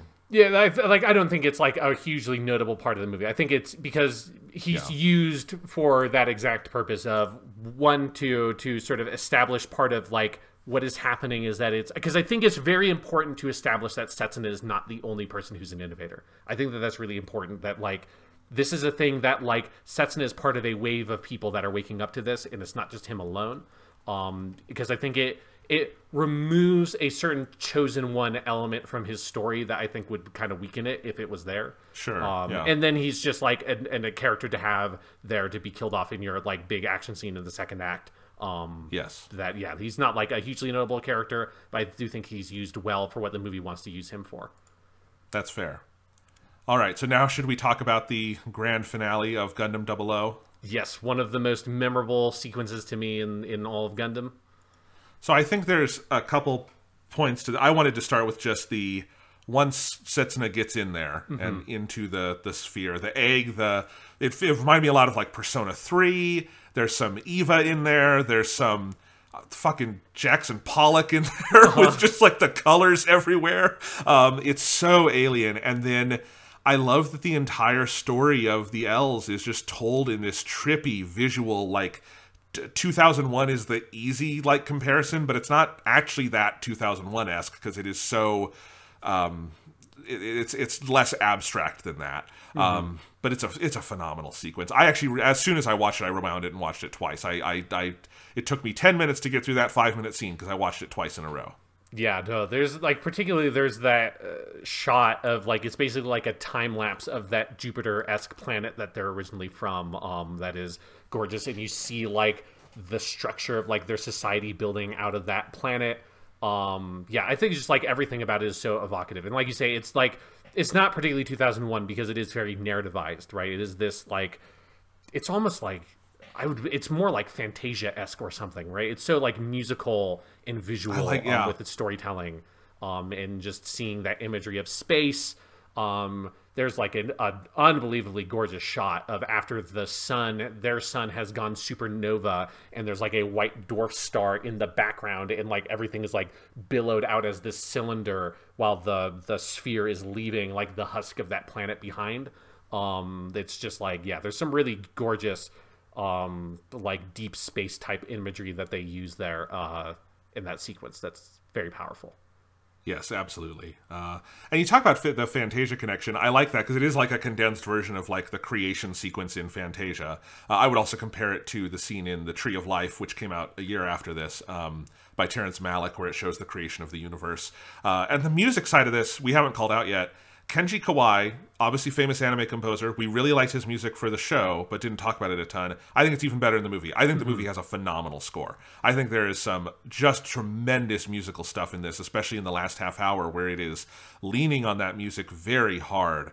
Um, it's a really, really good soundtrack, and it's not even recycling much from the TV show. It, it is substantially its own thing, and it's really good. yeah it's mostly new material there's a couple of like the major themes because the the soundtrack he did for the tv show is very leitmotif heavy um and it's very effective and so he uses Yeah. some of those leitmotifs although like a bunch of stuff that yeah he doesn't necessarily bring back he uses a lot of new material and it highlighted for me like i think one of the things i had not felt about that soundtrack necessarily in the TV show, but it definitely feels like it in the movie is like it it like some of the musical themes he uses, including the ones that come from the TV show, when you put them in this context, all of a sudden it like feels very much like a kaiju movie score. Um like he has this like very heavier kind of military themes um in the music that he uses in the TV show all the time that didn't register me as like vaguely Ifukube esque, but I think it does have like it's not it's not exactly Ifukube style of music, but it has a like tinges of that in this movie I can feel um in the big military sequences in particular that yes i think i think Yeah. much like the zeta movie soundtrack it just like feels like this is like the best version of what you could get from the soundtrack for double o and it being condensed in a movie like highlights what was good about the soundtrack already Yeah, I think that's that's absolutely correct. Um, okay, so that that scene is amazing, and then you have Setsuna and Tieria realizing they're being invited to the home planet, right? Um, Setsuna has a line there that is to the effect of "This is why I was born. This is what my life was for." That line hit me really hard, and I think it is just the cumulative impact of, you know, they Setsuna has this tragic origin where he was a child soldier and he was brainwashed and he murdered his own parents. And I feel like in most versions of this story, you would eventually come back around to that very directly. You would have him confront and kill Ali Al Saachez. You would have him in his like weird flash where he sees everybody, see his mom and dad, and get to say he's sorry. You would get something of that absolution. And they never do that with Setsuna. And I think we talked about in season two why it's important he never kills Ali Al Saachez, that like Lyle gets to do that because that's where Lyle is, and Setsuna has frankly moved on. And I think where what they do in place of all that to me is that line of Setsuna seeing all of this and seeing what he is being called to do there and saying, This is the purpose of my life. And what it communicates to me, it's so succinct. It's like five words. But what it communicates to me is that all that pain he suffered, all the terrible things that happened to him, all the people he lost along the way, and the bad things he had to do, if every one of those didn't happen, he wouldn't be here right now. And there would be no hope for humanity. This is like the world works in mysterious ways. Mm-hmm. And, you know, life takes you to these places. And him saying, Look at this beautiful meaning to my life. And now I invite it. And once he says that, there's zero hesitation. He goes right into it. There's no long goodbyes. There's no speech. In a very Setsuna F. Way, that is it. And that feels like the perfect culmination of that character to me. Um, it's just a moment where it's like they they fucking get it. Perfect. Yeah, I absolutely agree that that you feel the weight of the full character behind that decision. And yeah, I've always loved with Double O that they they obviously they use the tragic backstory stuff a lot with Setsa. Like he does have that flashback and stuff, but they don't deal with it as you say in the way that most media would, where it's like not so directly his fixation, right? It's not like Batman who has a portrait of his parents hanging over him in every room of his house and like that, right? Like it's a part of who Cessna is, it's a part of his backstory, and it's like he does have this trauma very directly associated with it, and that trauma sprouts into the other traumas he has, like losing Lockon and stuff that you see in the flashbacks in season two. But like it's it's a part of his backstory it's a part of who he is but it's not everything about his life crystallized in this one moment of him shooting his parents that he then needs absolution for. And so you need to have as you say the big in he in his like heaven that he's created with the GN particles he has an encounter with the spirits of his parents um he does it like he encounters Lockon spirit he encounters the spirits of Christine and the the other guy who dies at the end of season one who was with uh, celestial being um, and he sees them, but he doesn't see his parents. Um, and yeah, I think it is like really powerful that that is just a fact of the character, um, rather than it being like what the character is about. Um, and it's the kind of thing that like with that sort of tragic backstory, it's usually just like entirely what the character is, what he's about, and what he does. Um, and here it's just a part of who Setsuna is. And even without calling to it very directly, it does feel like it so much informs that revelation he has of this is what I have lived for. Like every decision I've made, everything that has happened um, has been leading up to this moment. And that means that it has been worth it. And it is worth him having lived along the way to get here. Yes. And then, poof, you know, he opens the portal and, uh, uh like, what a fucking payoff to the entire idea of the Double O Gundam being able to quantize that we end with a suit literally called the QAN brackets T, mm-hmm. uh, and then it gets to do this just off to who the hell knows, other side of the galaxy, other side of the cosmos, somewhere else, uh, and he's gone.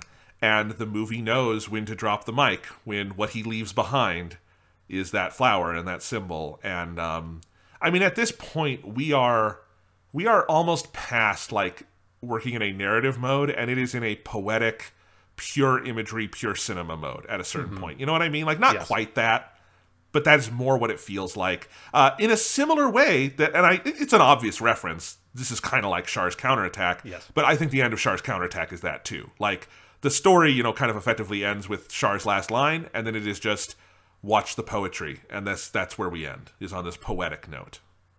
Yeah, exactly. That it feels like you're sort of transcending the bounds of like the literal reality of the world in some way, in a way that like it makes it like impossible to imagine a sequel. I know that there was some talk of something I think connected to like the stage play version. There was something going around that there was never like any concrete deal details of like potentially doing something else in Double O Gundam World that came out with like an anniversary. But I don't know what that would even be because this feels like it's such a you have broken the world. Like it, it is like you are no longer in the reality you understand. You have transcended into something else. Um, like you said, in a sort of poetic um world almost, because there is a giant flower in space above Earth. Um, which is if you are still in the tonal space of the beginning of Double O Gundam, would be the most ridiculous horseshit you had ever even heard of, right?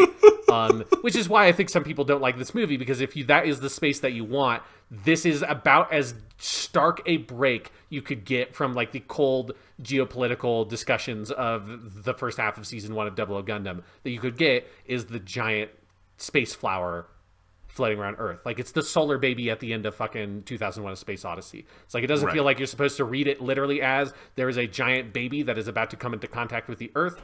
It is representing something purely about the themes and messages of this this work of art. Yes. Yeah, I there there are constantly it's it's not a rumor. People involved have said things that they want to do a sequel.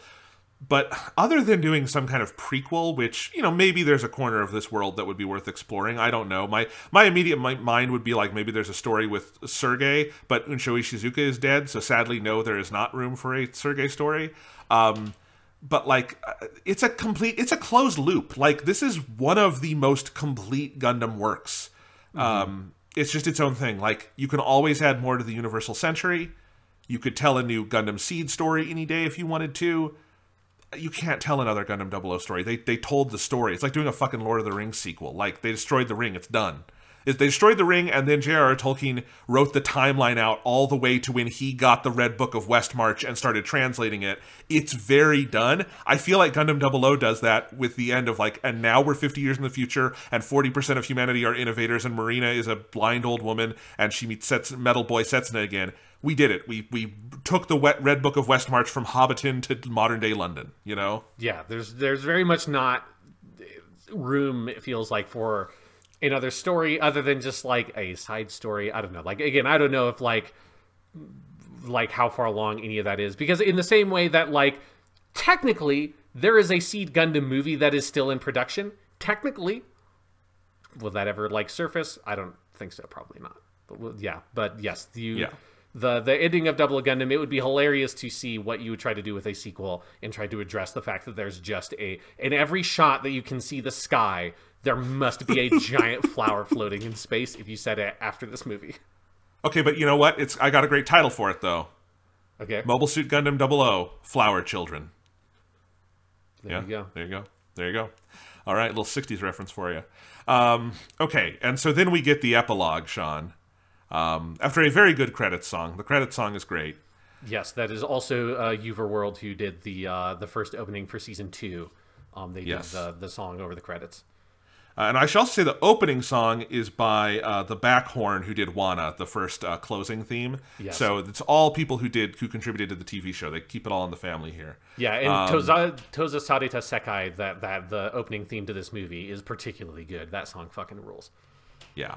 Um, okay, so final five minutes. We already talked, I think, about the Aeolia Schenberg scene, but then you go far to the other side, and we see this was the brain fuck for me, Sean. Before we even get to Metal Boy Setsuna, of just oh, they're going 50 years in the future, and there's a space station out where the flower is, and it's called the Sumeragi, and 40% of humanity have transcended to innovators, and they're doing this big mission to go meet the ELS and like travel into the far reaches of space, and you see little bits of the ELS metal bonded to some people.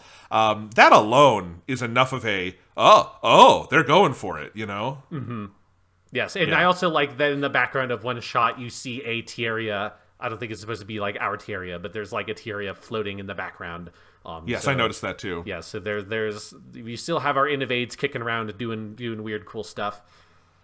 Yes. Um, I do wonder about like is is it does like open some questions that you're not supposed to ask about like how is humanity working with a 40% innovator society? Is there like a caste system? Do the people who aren't innovators like are they jealous? What's going on there? It's okay. We don't need to answer that right now. Uh, but then we do get Marina's uh, final scene where I feel like she's not. It's only been 50 years. I'm not sure why she looks quite as old as she does, especially in a future where I assume the longevity of a person's life is longer. But I guess we don't know how technically old she was in the show. Um, but I mean, she's also a fucking monarch, you know. Like, like you see how Yeah. much a U.S. president ages in four years. Like, imagine that shit, but you're also living in a Gundam world. Like, imagine like Okay, all the fair. shit she's been through in Double O Gundam. Like, I don't know how old she's supposed to be by the end of uh, like the run of that story. Uh, but she must have aged about twenty fucking years. it's like Barack Obama. If you look at him in 2009 versus 2016. Yes, yeah, he, Yeah. yeah, He aged about twenty years in that space. Yes, it is the exact same thing. So, yes, you you you are reintroduced to her. She's old. She's at Now I'm um, imagining fucking Barack Obama in like 30 years, blind, playing the piano, and then a metal, I don't know, Michelle comes in. it's messed up. I understand. Anyway, sorry. You were right. Um, Yes. Yes. So you have old Marina. She's playing the piano. She's of course playing um, the melody from the song from the show with the kids. Um, there's like a picture frame on her uh, piano that you can see that she's like lived a full life with her friends and family and stuff. Um, it's very like Rose at the end of Titanic. Yes, or it also, since I, you know, this is where my mind always goes. It is to Doctor Who, and it's very much like the Last Christmas in Doctor Who with meeting old uh, uh, Clara, and like she's lived a full life, uh, even though not actually because it was a dream. Spoilers for uh, an old episode of Doctor Who now. Um, but yeah, so it's this. She's lived this whole life on her own, and she's now um, in this room playing the piano, and the fucking door opens Someone walks in and she stands up and says, um, "Sorry, my eyes don't work very well. Um, who is it?" And uh, what does Setsuna say? He basically says, "Like I'm back."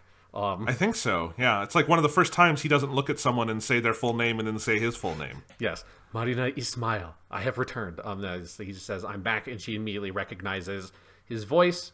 Um, and then they embrace each other, and he says, "You were right and I understand you. And, and she says, like, we, like, it's been a long time and like we've always been passing each other by is what Marina says to him, which I love that yeah. line that we've we've always been missing each other. Um, like in the sense of like been walking past each other basically their whole lives, and then they finally embrace each other and say that they understand each other, and the Gundam turns into flowers and the movie's over. Yes, and it is it's very good.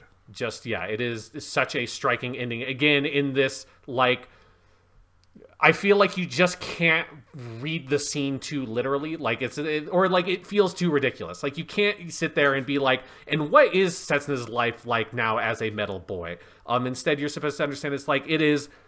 You know, he has completed his mission as fully as anyone could because he is like he is he is the true innovator, right? He has transcended his humanity to like understand the ELS by almost like becoming one of them, right? And that's like the culmination of his journey in this movie of seeking to understand them is he has become like them um and has and that is this striking image of him now made of metal like they are. In in the way that like I just feel like that image of him as a metal boy is so powerful um because it also like I feel like it evokes that sense of his whole life. He's that we've known him. He is trying to become the Gundam in a way that is what he now is, right? He is now made of metal like them. He has now like become that thing, um, and transcended that humanity. Um, and and then he embraces her. Uh, and and I love that they continue this thread of like their relationship doesn't read as romantic. It just reads as this like deep friendship that both of them were seeking from the other because they're two sides of the same coin, seeking understanding from each other um, their whole lives never quite finding it over the course of the TV show. Um, it's where, like, again, like if you, if the movie didn't exist, a criticism I would have of season two of Double O Gundam is that it doesn't feel like it really resolves properly Setsuna and Marina's relationship. It ends with that letter that Marina writes, which is good, but it feels like things are hanging, and this is what resolves that hanging feeling. Is that like, as you said, Jonathan, is this triptych structure? You have the letter from Setsuna in part one, you have the letter from Marina in part two, and then now instead of passing each other by, um, they can finally embrace each other and say that I understand who you are, you understand who I am, and it's like we are together. Again, yes. not romantically, just as like people. Absolutely, it's it is that feeling, like I said earlier, of I'm getting better at putting it all into words now that we've podcasted for two hours on it. But like now, Jonathan, we have now podcasted for five minutes longer than the movie is. That's great. That's yep. how we. That's how we fucking roll. Exactly. Um, our Return to the King podcast, four hours and six minutes, bitches. That's how we go. Exactly. Anyway, um, yes. So, uh, awake. Yeah. But but like while watching it, Metal Setsuna a crazy image. It's very out there, and yet just it feels right because because if Gundam Double O does not end with the moment where Marina and and Setsuna are in a room together and finally have a melding of the minds, then it hasn't ended. Like that mm-hmm. is what it has to go towards, right? If if Lord of the Rings does not end with Sam getting home and saying yes, I'm back and being with his family, Lord of the Rings doesn't end. You know, it's to reference Return of the King. Just like that's why that movie it's so important that it does the full Tolkien ended yeah. ending. You know, because if it doesn't, you haven't actually ended the story. This is ending the story. Now, did I ever predict that ending the story would involve a metal Setsuna? No, but but you know the importance of them coming together and the metalness of it being what allows them to do that. That is the poetry of this movie, and then ending with that phenomenal image of the Gundam there. Who boy, yeah. Yeah, it is. It is one of my favorite sequences in this franchise. It's like peculiar as it is, but partially because it's so peculiar. It's so different. It's so like, it, especially from like most of the franchise. Like it feels like something that you maybe would see a little bit in Mobile Suit Gundam in Turn A, but for most of the franchise, I feel like it just doesn't quite go to th- this abstract of a place. Like it usually has a lot of the new type stuff feels more, you know, literalized, right? It's more real. Um, and other like I would also say like the ending of F ninety one I think approaches that for me.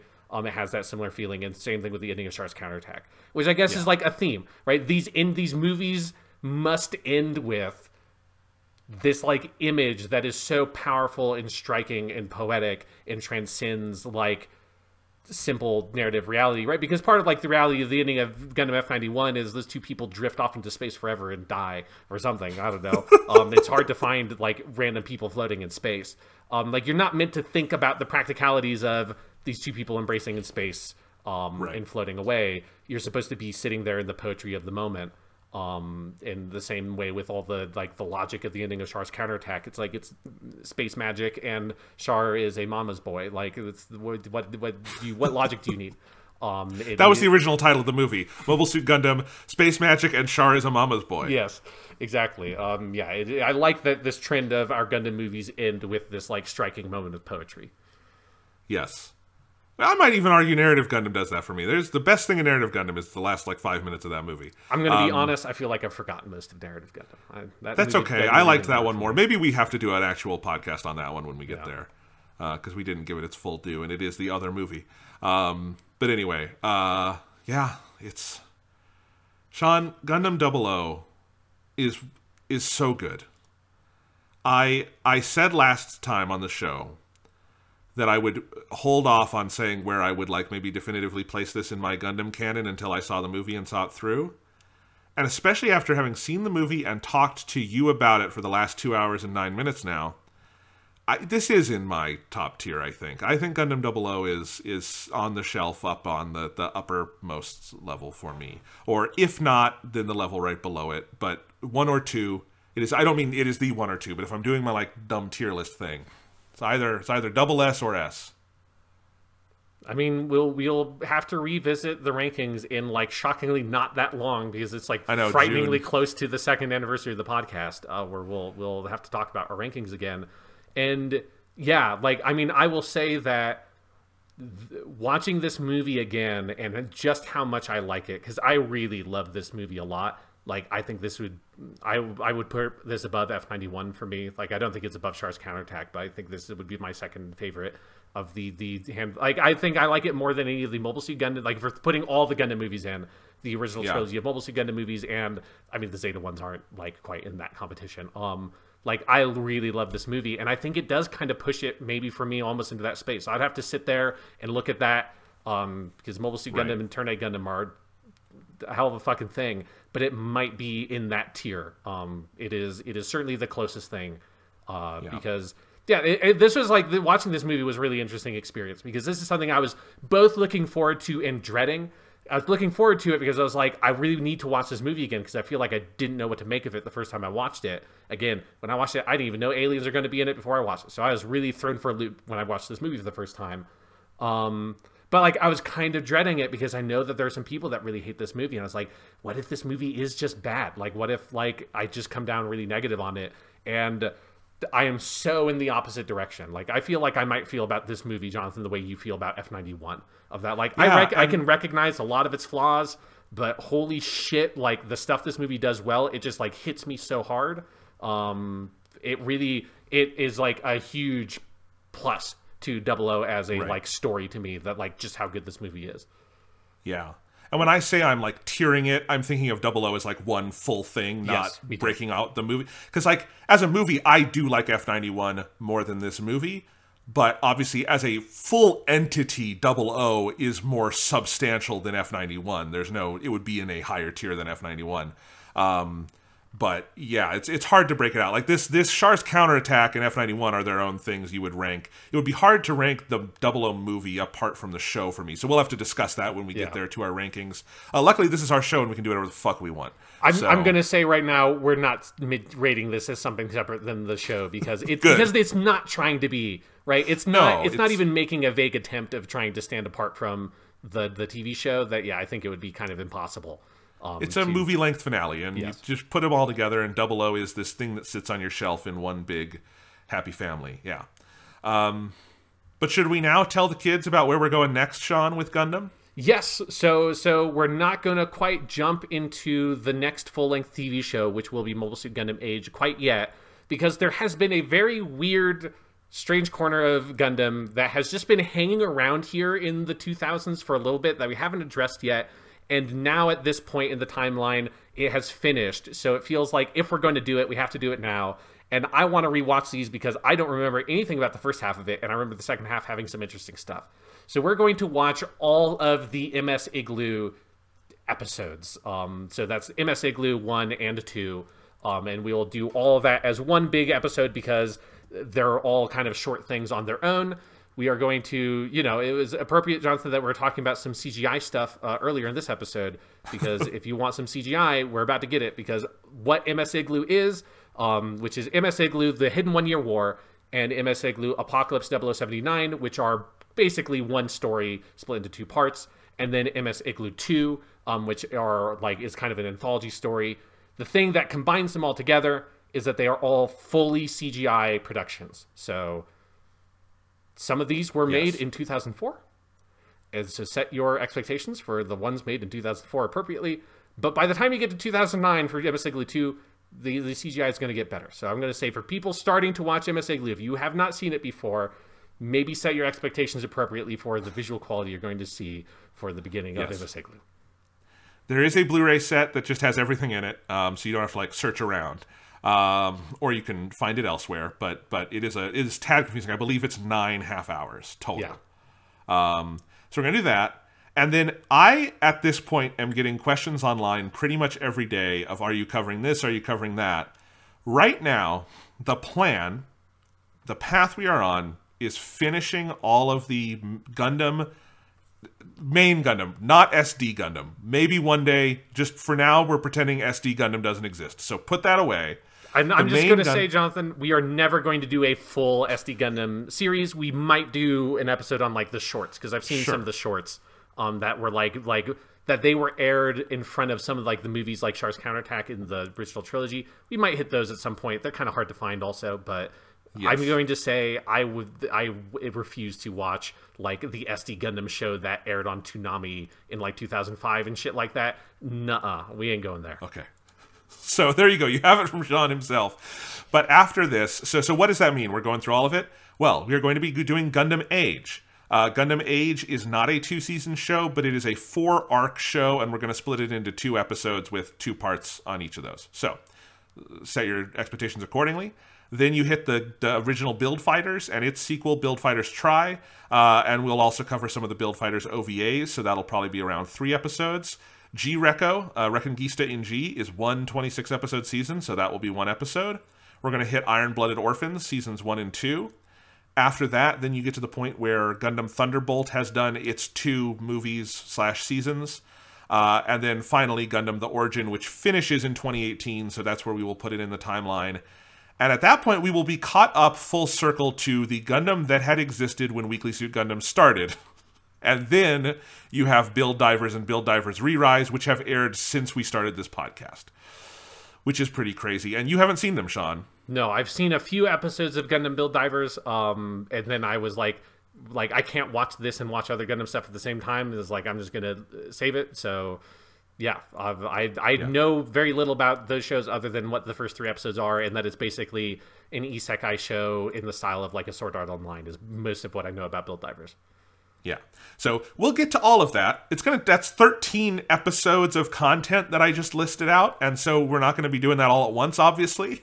Um, but that is the master plan going forward.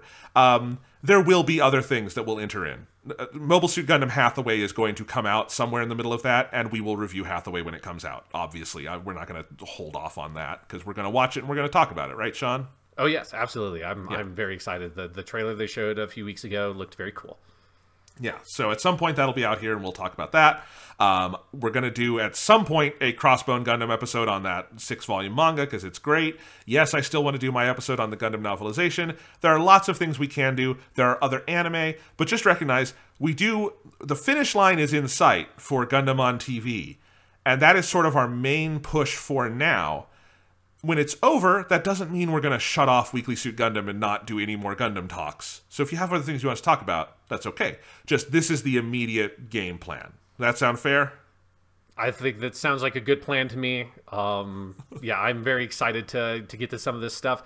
And then also, if, if people listen to this podcast but don't listen to the weekly stuff, if you like us talking about anime, we will be talking about Kimetsu no Yaiba also. So if you're not just only interested in mecha stuff, um, but want to hear some other anime talk, we'll be doing yes. that soon uh, because also the movie's coming out soon, and I got my tickets for that uh, just the other day. So I got my tickets too. So actually, the next two weeks of the Weekly Stuff podcast are both Kimetsu no Yaiba episodes. We're going to be recapping season one, and then we're going to be talking about the movie. So I might even put those in the Weekly Suit Gundam feed as well, just because they're anime based. I, they probably won't be Weekly Suit Gundam episodes, but just in case people are interested.